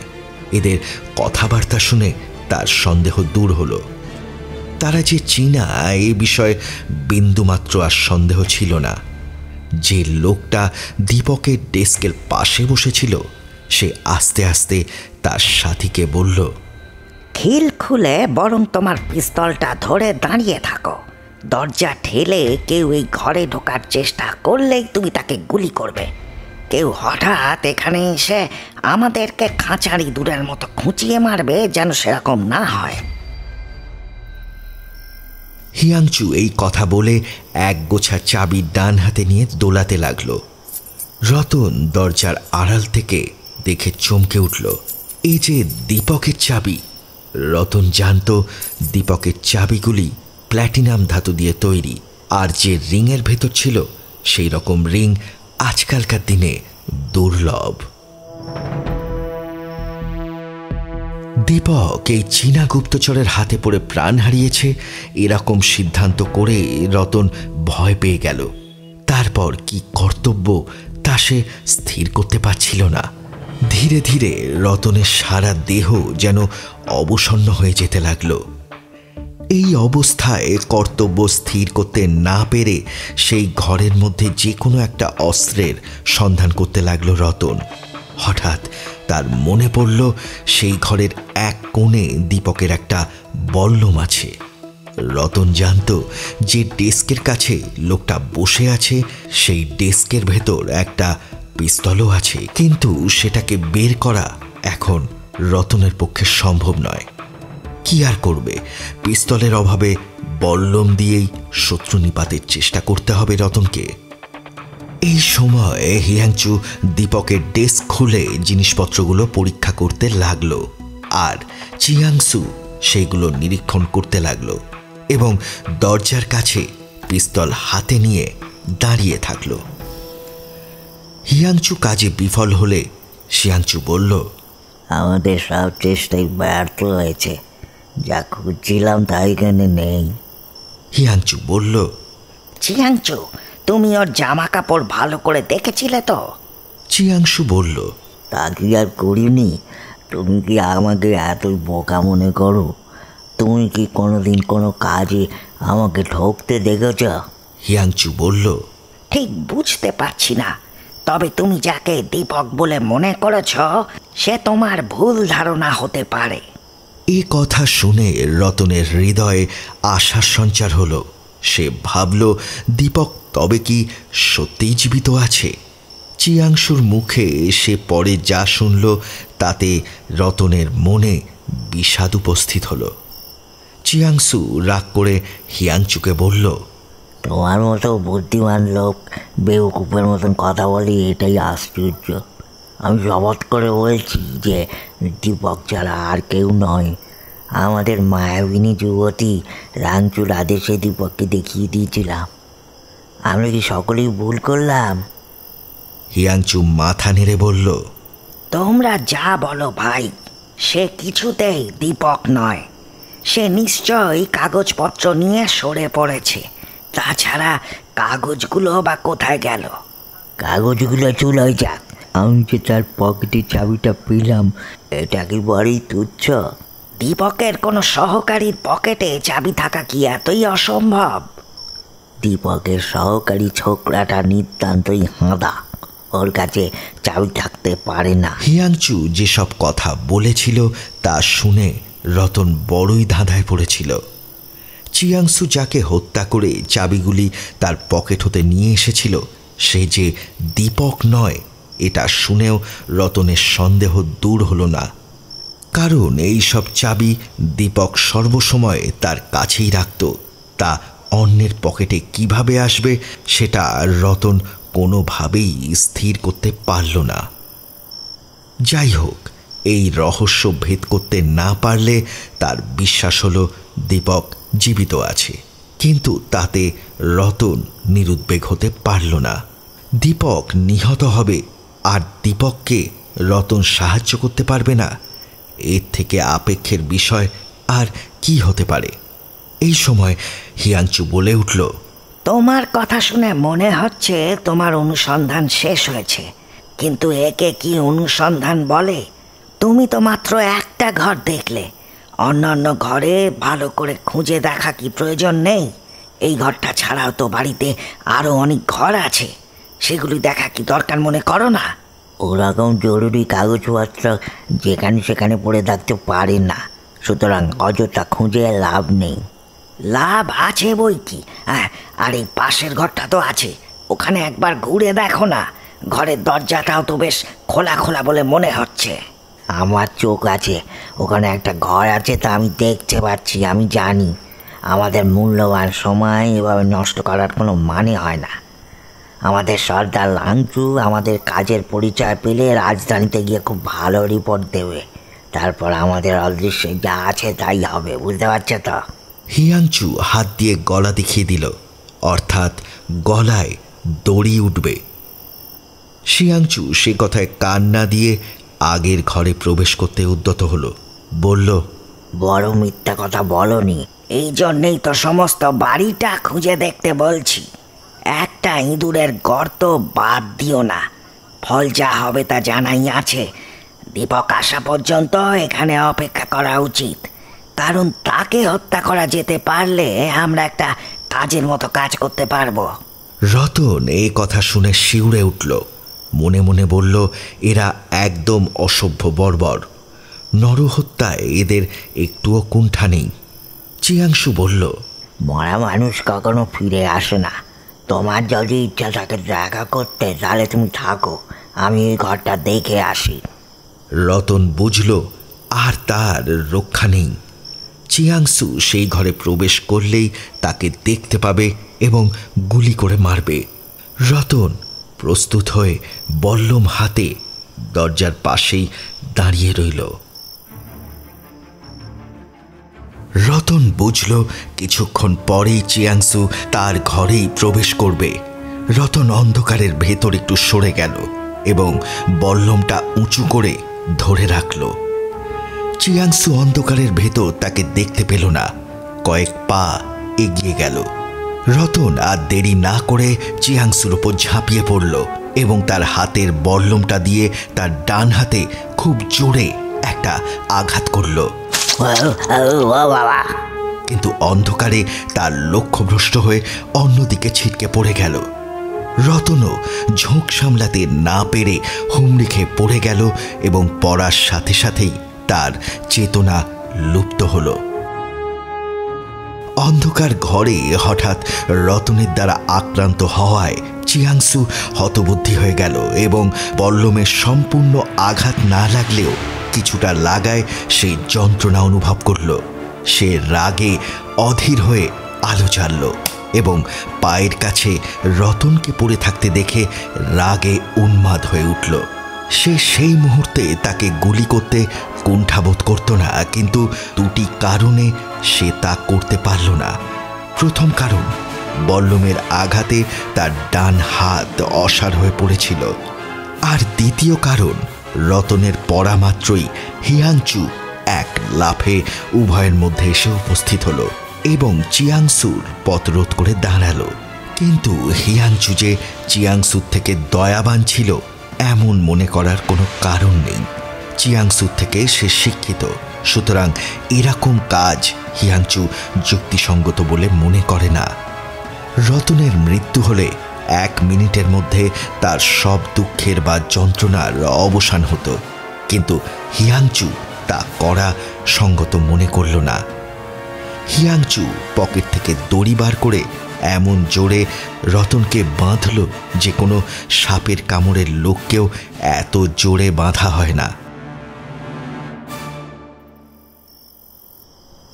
হিয়াংচু এইভাবে রতনকে বেঁধে কি উপায়ে তার কণ্ঠরোধ করবে তাই ভাবতে লাগল, কারণ রতনের চেতনা আসলেই সে চিৎকারের জন্য সাহায্য প্রার্থনা করতে পারে। আর এটা হওয়াই ছিল স্বাভাবিক। হিয়াংচু হঠাৎ অন্য কোনো দ্রব্য না পেয়ে তার পকেট হতে একখানা রুমাল বার করল এবং সেই রুমাল দিয়ে রতনের মুখ এভাবে বাঁধল যে জ্ঞান ফিরলেও তার পক্ষে টু শব্দ করাও সম্ভব হবে না। রতন তখনও অচেতনভাবে পড়েছিল। তার মাথার আঘাত অত্যন্ত গুরুতর হয়েছিল। হিয়াঞ্চু সেই অবস্থায় তাকে তুলে দীপকের ডেস্কের কাছে নিয়ে গেল।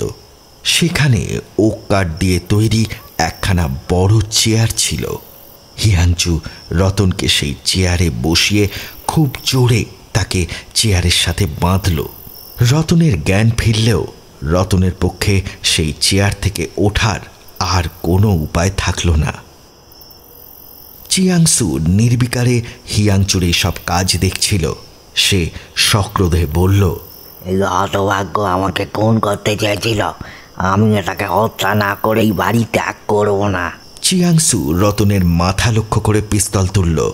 হিয়াংচু তৎক্ষণাৎ তার হাতখানা ধরে ফেলল ও তাকে কিছু দূরে সরিয়ে নিয়ে গেল আর বিরক্তভাবে বলল তোমার এক বিন্দু বুদ্ধি নেই। তুমি ওকে গুলি করলে তার শব্দে পাড়ার সব লোক এখানে ছুটে আসবে। দীপক বাড়িতে নেই বলে যে আশেপাশে কোনো বাড়িতে লোক নেই তা বলা যায় কি? তুমি যে দীপকের সহকারী ছোকরার কথা বলছিলে, মনে হয় এই ছোকরা সেই বেটা। সেই বটে। কিন্তু তোমার মতলব কি? তুমি কি ওকে এমন করে বেঁধে রেখে এখান থেকে চলে যাবে? কিছুক্ষণ পরে রতনের জ্ঞান ফিরে আসলো। জ্ঞান ফিরলে সে তার অসহায় অবস্থার কথা বুঝতে পারল। সে এটাও বুঝল যে এই বাঁধন তার পক্ষে খোলা সম্ভব নয়। ক্রমে ক্রমে রতনের সম্পূর্ণ চেতনা ফিরে আসলো। যা যা ঘটেছে তা সে নিজের চোখে দেখতে পেল। আর দেখা মাত্রই রতনের চোখে হতাশা নেমে এলো। চিয়াংসু এবং হিয়াংচু জিজ্ঞাসা করল ওকে কি জীবিত রেখেই চলে যাবে? এতে হিয়াংচু কি উত্তর দেয় সেই অপেক্ষায় রতন শ্বাস বন্ধ করে থাকল।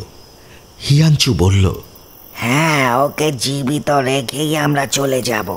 কিন্তু ওকে মৃত্যুর পথে আমরা বসিয়ে রেখে যাব। এই অপগণ্ড ছেলেটা আমাদের হত্যা করার চেষ্টা করেছিল। একে জীবিত রেখে যাওয়া ঠিক তো হবেই না, কারণ ও আমাদের সব পরামর্শ শুনেছে এবং দীপক এলে তা বলে দেবে। তাছাড়া এ বল্লম দিয়ে তোমায় মারতে চেয়েছে, কাজে এ খুব সহজ ছেলে নয়। হিয়াংচুর কথা শুনে চিয়াংসু খুশি হলো। সে বলল তুমি অনর্থক দেরি করছ। এতক্ষণ ওকে আসতে বৃষ্টি বেঁধে রাখার থেকে একটা গুলি করলেই সব সাফ হয়ে যাবে। হিয়াংচু বলল আমি তোমার মতো কষাই হলে তা করতাম বটে। কিন্তু আমি তো তোমার মতো নির্দয় নই কাজে নরহত্যা দেখতে পারি না। সুতরাং যাতে একসাথেই দুজনের মৃত্যু হয় এই ব্যবস্থাই আমি করব। চিয়াংসু হাসতে হাসতে বলল এক দুলে দুই পাখি মারার কথা শোনা যায়। তুমিও কি তাই করতে চাও? কিন্তু যদি দীপক হঠাৎ বাড়িতে ফিরে আসে তাহলে তুমি কি করবে? এ কথা শুনে হিয়াংচু বলল তার জন্যই তো তোমাকে দরজার কাছে পাহারায় থাকতে বলছি। সে আসার আগেই আমরা যোগাযন্ত্র সব শেষ করে দেব। গুলি করে নরহত্যা করার মধ্যে কোনো আনন্দ নেই। হিয়াংচু আর কোনো কথা বলল না। এক ঢিলে দুই পাখি মারবার ব্যবস্থা করতে লাগল। রতন সব কিছুই দেখতে পেল, শুনতে পেল, কিন্তু শত্রুপক্ষের আয়োজন অনুষ্ঠানে বাধা দানের মতন শক্তি নেই বুঝে তার মন ক্ষোভে, দুঃখে ভরে গেল। এর মধ্যে হিয়াংচু তার পকেট থেকে একটা ধাতুর তৈরি ছোট্ট বাক্স বার করল। তা দেখতে অনেকটা সিগারেটের বাক্সের মতো। রতন বুঝল ওই বাক্সে কোনো বৈদ্যুতিক যন্ত্র সংযোজিত আছে। রতন দেখল হিয়াংচু অন্য একটা পকেট হতে একটা ছোট্ট শিশি বার করল। আর সেই কাছের শিশির কর্কটি খুলে শিশির ভেতর থেকে কিছুটা তরল পদার্থ ওই বাক্সের ভেতর ঢেলে দিল। সেই তরল পদার্থের উগ্র গন্ধে সারা ঘর পরিপূর্ণ হলো। দীপক রসায়নবিদ্যায় সুপণ্ডিত ছিল এবং রতনকে তার রসায়ন ঘরে অনেক সময় সাকৃতি করতে হতো। সুতরাং রসায়নবিদ্যায় রতনেরও কিছুটা জ্ঞান ছিল। রতন বুঝল, হিয়াংচুর ধাতু নির্মিত বাক্সটি একটা সাংঘাতিক বোমায় পরিণত হতে চলেছে।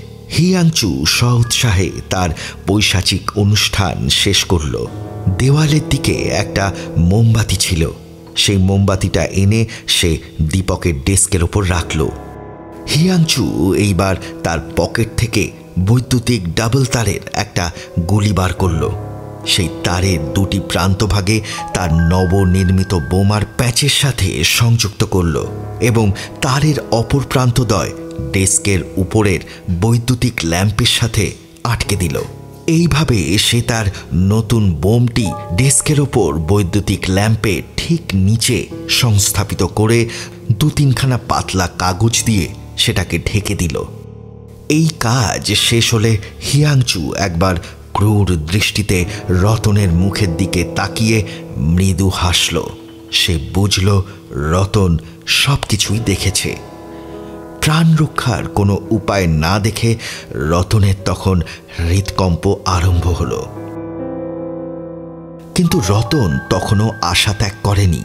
সে মনে করল, দীপক সেই ঘরে এলে প্রথমেই দরজার আলোটা জ্বালবে। তারপর সে চেয়ারের সাথে দড়ি দিয়ে বাঁধা রতনকে দেখতে পাবে। সুতরাং আগে ডেস্কের লাইটটা জ্বালবার জন্য ব্যস্ত না হয়ে রতনকেই সে বন্ধনমুক্ত করবে। রতনের মনে হলো এটাই স্বাভাবিক এবং এটাই সম্ভব। কিন্তু তার এই ছোট আশা শীঘ্রই দূর হল, কারণ হিয়াংচু দীপকের নিষ্কৃতি লাভের আর কোনো পথই খোলা রাখল না। তার কাজ শেষ হলে বলল, কেমন বন্ধু? আমার বুদ্ধি বুঝেছ তো? কাল সকালে এই কলকাতা শহরের জনসাধারণ শুনবে বিখ্যাত গোয়েন্দা দীপক ও তার অনুচর একই সাথে প্রাণ হারিয়েছে। এখন আমরা অনায়াসে চলে যেতে পারি, কিন্তু যাবার আগে আমাদের একটা কাজ সেরে যেতে হবে। এই কাজটা কি তা জানার জন্য রতন অত্যন্ত উৎসুক হয়ে উঠল। এবং যখন সে তা জানতে পারল, তখন তার হৃদয় নিরাশার অন্ধকারে সমাচ্ছন্ন হল। চিয়াংশু আগে সেই ঘর ত্যাগ করল, আর হিয়াংচু ডেস্কের আলোটা নিভিয়ে রেখেছিল। সেই ঘর থেকে বেরিয়ে যাওয়ার সময় দরজার কাছে যে বৈদ্যুতিক আলোটা ছিল, সেইটা চিয়াংশু এক ধাক্কায় ভেঙে দিল। তক্ষুনি তা ভেঙে গুঁড়িয়ে পড়ল মাটিতে। রতন বুঝল যে দীপক দরজার লাইটটা জ্বালতে না পারলে ডেস্কের কাছে যে আলোটা আছে সেটাই জ্বালানোর চেষ্টা করবে। আর ঠিক সেই সময় বোমটা ফাটবে। আর ফাটলে রতন আর দীপক দুজনকেই পরলোক গমন করতে হবে। দীপকের প্রাণ রক্ষার কোনো উপায় স্থির করতে না পেরে হতভাগ্য রতন অস্থির হয়ে উঠল। নানা চিন্তায় তার হৃদয়ে তুমুল আন্দোলনের সৃষ্টি হল। অবশেষে সে হতাশ হয়ে মুখের বন্ধন খুলবার জন্য প্রাণপণে চেষ্টা করতে আরম্ভ করল। তখন রতন তার দাঁত দিয়ে রুমালটা চাপতে আরম্ভ করল। রুমালের যে অংশ তার মুখের মধ্যে ছিল, অনেকক্ষণ চিবানোর পর সেটা কিছুটা ছিঁড়ে গেল। কিন্তু তখন তার অবস্থা অত্যন্ত শোচনীয়। ক্রমাগত চিবানোর ফলে তার দাঁতের মাংসপেশি ফুলে উঠেছে। তারপর তার মুখ নাড়ার আর ক্ষমতা থাকল না। রতনের মাথা ঘুরতে লাগল। তারপর যেন তার সংজ্ঞা লোপ পেতে লাগল। ঠিক সেই সময় বাইরে কলিং বেলের ধ্বনি শোনা গেল। একবার, দুবার, তিনবার কলিং বেলের শব্দ শুনে রতন বুঝল দীপক বাড়িতে এসেছে। আবার বারবার কলিং বেলের শব্দ শোনা গেল। এরপর মোক্ষদার ঘুম ভাঙল। সে তাড়াতাড়ি উঠে দরজা খুলে দিল। রতন বাইরে বসার ঘরের দরজা খোলার আওয়াজ শুনতে পেল। দীপক বাড়ির ভেতরে এলো। মুখ্যদা দরজা খোলার পর একটু অপ্রতিভ হয়েছিল। গাঢ় নিদ্রায় মগ্ন থাকায় সে কলিং বেলের শব্দ শুনতে পায়নি। দীপক মুখ্যদাকে কি বলল তার রতন শুনতে পেল না। কথা শেষ করে দীপক ঘরের মধ্যে খাবার জন্য অগ্রসর হলো। রতনের বোধ হলো সে মৃত্যুর দ্বারে উপস্থিত হচ্ছে। রতন যে ঘরে বসেছিল, দীপক সেই ঘরের দরজার কাছে উপস্থিত হয়ে অন্ধকার ঘর আলোকিত করার জন্য দরজার কাছের বৈদ্যুতিক বাতিটি জ্বালানোর চেষ্টা করল। কিন্তু হিয়াংচু তার সেই কাঁচের গোলকটি খুলে ভেঙে ফেলায়, সেই বাতি আর জ্বলল না। সে হাত বাড়িয়ে দেখল, ব্র্যাকেটের ওপর কাঁচের গোলকটি নেই। সে অত্যন্ত অবাক ও বিরক্ত হলো। দীপক এবার অধীরভাবে ডেস্কের কাছে অগ্রসর হতে লাগল দ্বিতীয় আলোটি জ্বালবার জন্য। এমন সময় সৌভাগ্যবশত রতন মুখের বাঁধন আরও একটু আলগা করতে পারল। এবং জড়িত স্বরে বলে উঠল দীপক ডেস্কের সামনে যাবি না। এ আলোতে হাত দিলেই মৃত্যু। সেই অন্ধকারের মধ্যে রতনের অস্বাভাবিক কণ্ঠস্বর শুনে দীপক ভয়ে ও বিস্ময়ে হতবুদ্ধি হয়ে গেল এবং ব্যাপারটা কি বুঝতে না পেরে মানুষ সামনে যেরাম সাপ দেখলে ভয় পায় ঠিক তেমনভাবেই পিছিয়ে গেল এবং দূরে সরে দাঁড়াল। রতনকে দীপক জিজ্ঞাসা করল রতন ব্যাপারটা কি? তুই এরকম করছিস কেন? তুই কোথায় আছিস? তোকে দেখতে পাচ্ছি না। কিন্তু সে কোনো প্রশ্নের উত্তর দিল না। এতে তার উদ্বেগ আরও বেড়ে গেল। সে রতনের কণ্ঠস্বর শুনে সেই দিকে অগ্রসর হতে লাগল। হঠাৎ তার মনে পড়ল তার পকেটে দেশলাইয়ের বাক্সটা আছে। একটা কাঠি জ্বালিয়ে দীপক রতনকে যে অবস্থায় দেখল, তাতে সে একেবারে হতবুদ্ধি হয়ে গেল। সে দেখল রতনের সারা দেহ দড়ি দিয়ে চেয়ারের সাথে বাঁধা, একটা রুমাল দিয়ে তার মুখ বাঁধা, কিন্তু রুমালের কিছু অংশ আবার ছেঁড়া। রতনের জ্ঞান নেই, তার মাথা বুকের দিকে ঝুঁকে পড়েছে এবং সর্বাঙ্গ অসার। দীপক তৎক্ষণাৎ পকেট থেকে একখানা ছুরি বার করে প্রথমে রতনের বাঁধন কেটে দিল। তারপর তার হাতের বাঁধনগুলো খুব যত্ন সহকারে কেটে তার নাম ধরে বারবার ডাকতে লাগল, কিন্তু রতনের কাছ থেকে কোনো সাড়া পাওয়া গেল না। বাঁধন খুলে দেওয়ার সাথে সাথে তার শরীর চেয়ারের উপর ঢলে পড়ল। তাকে এইভাবে মূর্ছিত হতে দেখে দীপক অত্যন্ত ব্যাকুল হয়ে উঠল। সেই ঘরের এক কোণে ছোট টেবিলের ওপর আরেকটি কেরোসিনের ল্যাম্প ছিল। দীপক তার দেশলাইয়ের সাহায্যে সেই ল্যাম্পটি জ্বালল। এরপর দীপক আলোকিত ঘরের চারদিকে একবার তীক্ষ্ণ দৃষ্টিতে বুঝতে পারল, বাইরের লোক এখানে প্রবেশ করে তার জিনিসপত্র ওলটপালট করেছে এবং ডেস্কের উপর যেসব কাগজপত্র ছিল তাও স্থান ভ্রষ্ট করেছে। সিঁড়ির পাশেই বাথরুম। সেখান থেকে তাড়াতাড়ি এক বালতি জল এনে তার কিছুটা দিয়ে রতনের চোখে মুখে ঝাপটা দিল। তারপর টেবিলের ওপর হতে একটা শিশি নিয়ে কয়েক বিন্দু আরক রতনের মুখে ঢেলে দিল আর তারপরেই রতনের চেতনার উদয় হল। রতন দীর্ঘশ্বাস ত্যাগ করে চোখ খুলল এবং ভয় ব্যাকুল দৃষ্টিতে দীপকের দিকে তাকিয়ে থাকল। তারপর ক্ষীণ স্বরে বলল, দীপক তুই তুই আমার কথা শুনতে পেয়েছিস তো? আশা করি তুই ডেস্কের আলোটা স্পর্শ করিসনি। স্পর্শ করলে এতক্ষণে তুই আর আমি কেউই জীবিত থাকতাম না। রতন আর বেশি কথা বলতে পারল না। তার মাথা ঘুরতে থাকল, কিন্তু দীপকের শুশ্রূষায় আধ ঘণ্টার মধ্যে বেশ কিছুটা সুস্থ হয়ে উঠল। রতন যখন চীনা গুপ্তচরদ্বয়ের কথা বর্ণনা করছিল তখন সে দীপকের মুখের বিন্দুমাত্র পরিবর্তন দেখতে পায়নি। দীপক নির্বিকারে সমস্ত কথা শুনল, যেন এটা তার জীবনে নিত্য নৈমিত্তিক ঘটনা। রতন তার এই অবিচল ভাব লক্ষ্য করে চিন্তিত হল। দীপক ধীরে ধীরে ডেস্কের কাছে এসে সাবধানে কাগজপত্রগুলি সরিয়ে ফেলল। তৎক্ষণাৎ বোমটি দীপকের দৃষ্টিগোচর হলো। হুম, এই বোমটা ফাটলে এই ঘরটি নয়, সম্পূর্ণ বাড়িটাই ভেঙে পড়তো। কাল এই বোমটা আমি গভর্নমেন্টের ল্যাবে পাঠিয়ে দেব। পরদিন সকালে চায়ের টেবিলে বসে সেই দিনের একখানা সংবাদপত্র খুলে রতন শিউরে উঠল। সে মুখ তুলে দীপকের দিকে চাইল, তারপর বিমর্ষভাবে বলল যা ভয় করেছিলাম, তাই হয়েছে। ব্যাপারটা একবার পড়ে দেখ। দৈনিকখানার সংবাদপত্রের প্রথম পৃষ্ঠাতেই মোটা মোটা অক্ষরে নিচে লেখা কতগুলো কথা।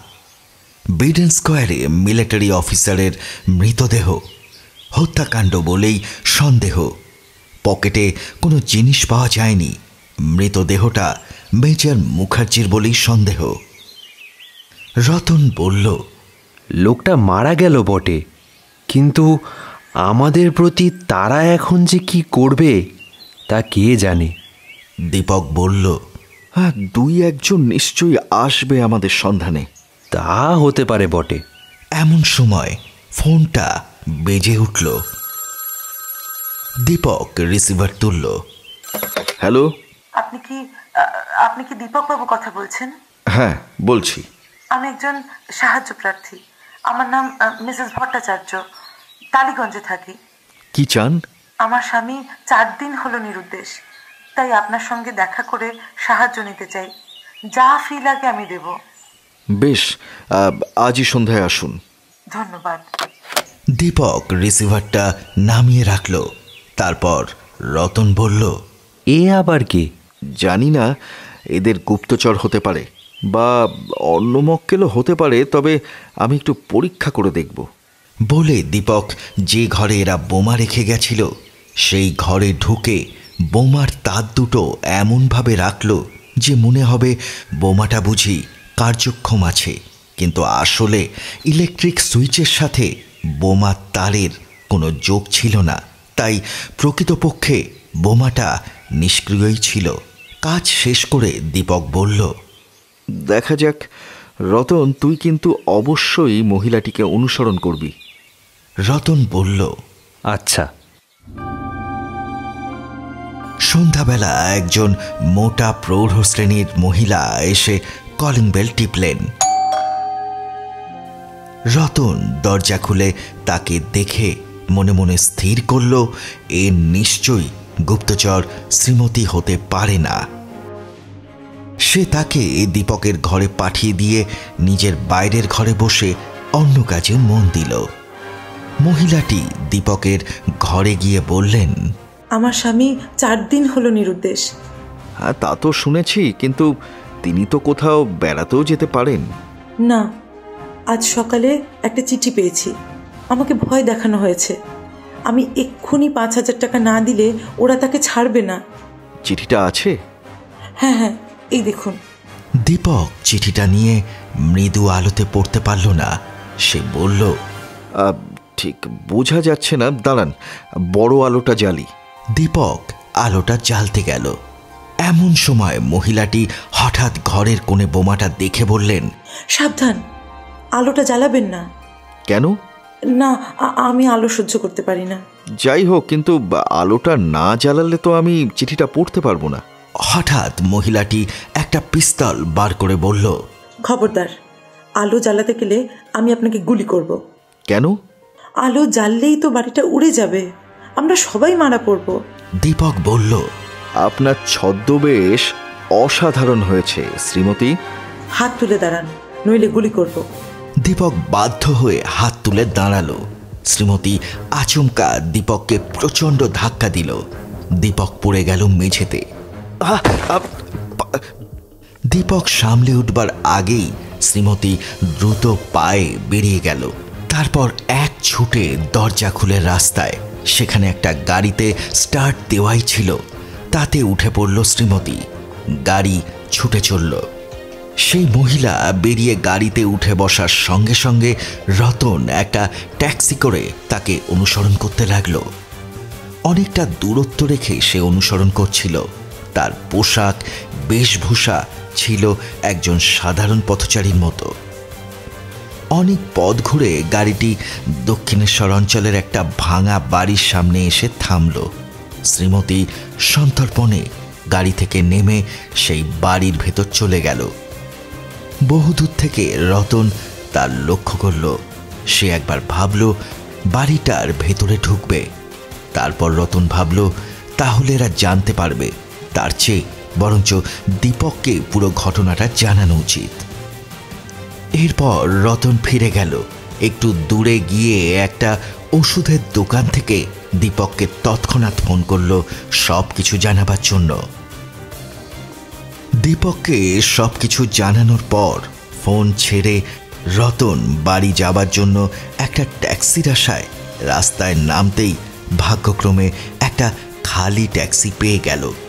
রতন জানতো না যে তার অনুসরণ করা শ্রীমতীর অজানা ছিল না এবং এই ট্যাক্সি চালক শ্রীমতীরই অনুচর। তাই ট্যাক্সিতে বসতেই রতন ওদের হাতে বন্দি হলো। এরপর রতনকে ওই বাড়িটার পেছনে পুরো বাগানের একটা বড় গাছের সাথে বেশ করে বেঁধে রাখা হলো। একটু পরেই রিভলভার হাতে শ্রীমতী রতনের সামনে এসে দাঁড়াল। তোমার গোয়েন্দাগিরি এখানেই শেষ। শ্লেষ ভরা কণ্ঠে শ্রীমতী বলল আর দশ মিনিট পরেই আমরা এদেশ ছেড়ে চলে যাচ্ছি। বিদেশে যাওয়ার আগে এই রিভলভারের দু চারটি গুলি তোমার দেহের মধ্যে রেখে যাব। এই বলে শ্রীমতী হাসতে থাকে। কিন্তু হঠাৎ পেছন থেকে কে বলে উঠল হাত তোলো একটু নড়লেই গুলি করব। শ্রীমতী দেখে রিভলভার উঁচিয়ে তার পেছনে দাঁড়িয়ে দীপক। হুম, ঠিক সময় এসেছি। কি বলিস, রতন? বলে দীপক রতনের দিকে তাকাতেই শ্রীমতী আচমকা দীপককে প্রচণ্ড ধাক্কা দিল। রতন! দীপক মাটিতে পড়ে গেল। শ্রীমতী দীপককে গুলি করতে উদ্যত হল দীপক। আতশোয়া অবস্থাতেই তার হাতটা চেপে ধরে অন্যদিকে ঘুরিয়ে দিল। গুলিটা দীপকের গায়ে না লেগে তার মাথার পাশ কাটিয়ে বেরিয়ে গেল। আর শ্রীমতীর চালানো গুলিটা দীপকের গায়ে না লেগে সেটা সোজা গিয়ে লাগল লাংচুর বুকে। লাংচু সেই গুলির ধাক্কায় দূরে ছিটকে পড়ে গেল। এরপর দুজনের মধ্যে হাতাহাতি শুরু হলো। ইতিমধ্যে গুলির শব্দ শুনে দীপকের সঙ্গে যে সশস্ত্র পুলিশ বাহিনী এসেছিল, তারা শ্রীমতীকে ঘিরে ফেলে তাকে সহজেই বন্দি করল। কিন্তু লাংচুকে জীবন্ত ধরা গেল না। রিভলভারের গুলিতে এসে মৃতপ্রায় হয়েছিল। একটু পরেই মারা পড়ল। পরদিন প্রতিটি সংবাদপত্রে দীপকের জয়গাথা ঘোষিত হলো।